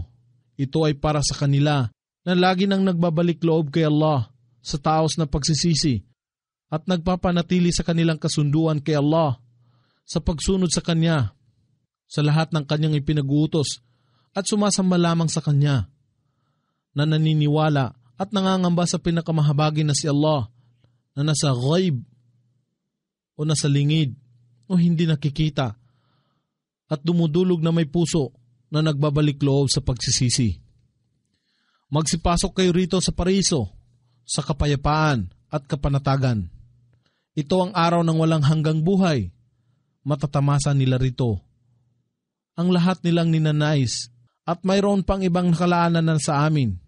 Ngunit ilan na bang mga lahi ang winasak namin ng una pa rito dahilan sa kanilang kabuktutan na higit na malakas sa kapangyarihan sa kanila at nang ang kaparusahan ay dumatal sila ay nagsipamayagpag sa kalupaan upang maghanap ng kanlungan. Makakatagpo ba sila ng anumang pook ng kanlungan upang iligtas ang kanilang sarili sa pagkawasak? Katotohanang naririto ang isang tiyak na paalaala. Sa sinuman na may puso at pangunawa o siya na dumirinig at isang saksi. Katotohanang nilikha namin ang kalangitan at kalupaan at lahat ng nasa pagitan nito sa anim na araw. At walang anumang pagkapagal ang nakapanaig sa amin. Kaya't inyong pagtiisan o Muhammad ang lahat nilang sinasabi. At ipagbuni mo ang mga pagpupuri sa iyong Panginoon bago dumatal ang pagbubukang liwayway at bago kumagat ang dilim, alalaong baga, ang pang-umaga, pangtanghali at panghapong panalangin o Fajr, Dhuhr at Ashar. At gayon din sa mga bahagi ng gabi, ipagbunyi ang kanyang mga papuri, alalaong baga, ang pangtakip silim at panggabing panalangin, ang Maghrib at Aisha. At gayon din naman, pagkatapos ng pagpapatira pa sa pananalangin, katulad halimbawa ng pagdalit ng isang daang bisis ng Subhanallah, Alhamdulillah, Allahu Akbar. At pakinggan sa araw na yaon kung ang tagatawag ay tumatawag na sa isang pook na lubhang malapit. Sa araw na sila ay makakarinig ng malakas na pagsambulat na walang pagsala at sa katotohanan. Alalaong baga ang paglabas ng mga tao sa kanilang libingan. Ito ang araw ng muling pagkabuhay, katotohanan kami. Ang naggagawad ng buhay at nagkakaloob ng at nagkakaloob ng kamatayan. At sa amin ang huling pagbabalik. Sa araw na ang kalupaan ay malalansag sa pagkabiyak na hinahayaan sila na nagmamadali sa paglabas ito ang takdang pagtitipon na lubhang magaan sa amin. Labis naming nababatid ang kanilang sinasabi at ikaw o Muhammad ay hindi siyang makapagpapasunod ng sapilitan sa kanila upang manampalataya datapot magpaalaala ka sa pamamagitan ng Quran sa sinumang nangangamba sa aking banta. Surat Al-Dhariyat Sa ngalan ni Allah, ang pinakamahabagin, ang pinakamawain. Ako si Allah ay nanunumpa sa hangin na nagkakalat ng alikabok at sa mga ulap na nagaangat at nagdadala ng mabigat na timbang ng tubig at sa mga barko na umusad ng madali at banayad at sa mga anghel na namamahagi ng mga ikabubuhay, ulan at ibang mga biyaya sa pag-utos ni Allah, katotohanan ang ipinangako sa inyo, alala ang baga, ang muling pagkabuhay at ang pagtanggap ng gantimpala o kaparusahan sa mabuti o masamang gawa at katiyakang tunay. At walang pagsala ang kabayaran o kahatulan sa katarungan ay katotohanang magaganap. Ako si Allah ay nanunumpa sa langit na may maraming landas. Katotohanan kayo ay may magkakaibang pananaw tungkol kay Muhammad at sa Quran.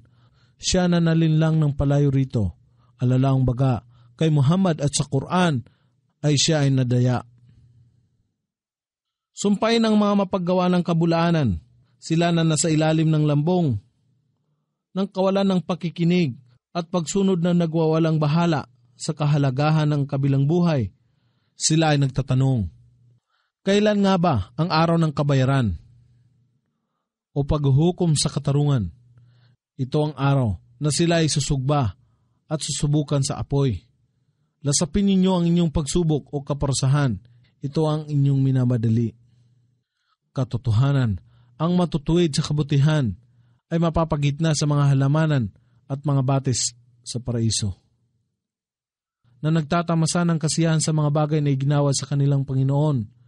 Na nagtatamasa ng kasiyahan sa mga bagay na iginawad ng kanilang Panginoon. Katotohanan nung panguna rito, sila ay naging muhsinun, mga mapaggawa ng kabutihan at katwiran.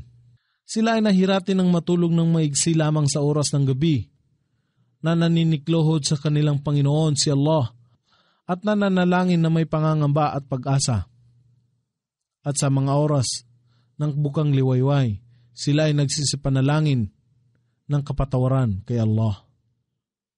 At sa kanilang kayamanan ay mayroon dapat na ibahagi sa mga pulubi. At sa mga naghihikahos. At sa kalupaan ay naririto ang mga tanda sa mga may pananalig na may katiyakan at gayon din sa inyong sarili, hindi baga ninyo nakikita at sa kalangitan ay naroon ang inyong biyaya na sa inyo ay pinangako. Kahit ako, si Allah ay nanunumpa sa Panginoon ng kalangitan at kalupaan na ito ang katotohanan, alalaong baga, ang ipinangako sa iyo.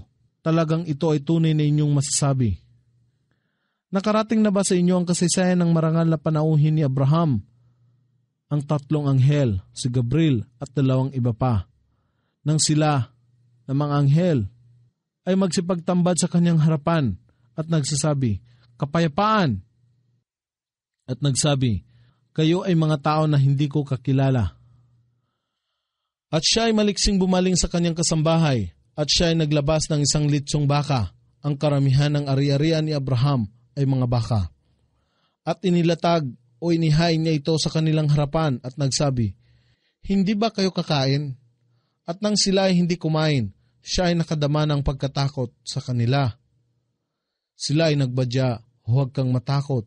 At sila ay nagbigay sa kanya ng masayang balita ng pagdatal ng isang anak na lalaki, si Ishaq, na may karunungan tungkol kay Allah at sa kanyang kaisahan. Datapot ang kanyang asawa ay lumapit sa kanila na nag-iingay, na tumatampal sa kanyang mukha at nagsabi, Ako ay isang baog at matandang babae. Alalaong baga paano siya magkakaanak gayong siya ay humigit kumulang na sa siyam na putsyam na taon. Sila na mga anghel ay nagturing sa ganitong kapamahalaan ang winika ng inyong Panginoon. Katotohanan siya ay tigib ng karunungan, ang puspos ng kaalaman. Surat Al-Mujaddala Sa ngalan ni Allah, ang pinakamahabagin, ang pinakamawain. Katotohanan si Allah ay nakarinig sa pangungusap ng isang babae na si Khawla bint Tha'laba na nakikipagtalo sa iyo o Muhammad tungkol sa kanyang asawa na si Aus bin As-Samit at tuwiran niyang iniluhog sa panalangin ang kanyang daing kay Allah. At si Allah ang nakakarinig ng inyong usapan sapagkat si Allah ang nakakarinig at nakamamasid. Kung sino man sa inyong kalalakihan ang nais na makipaghiwalay, sa inyong asawa sa pagpapahayag ng zihar.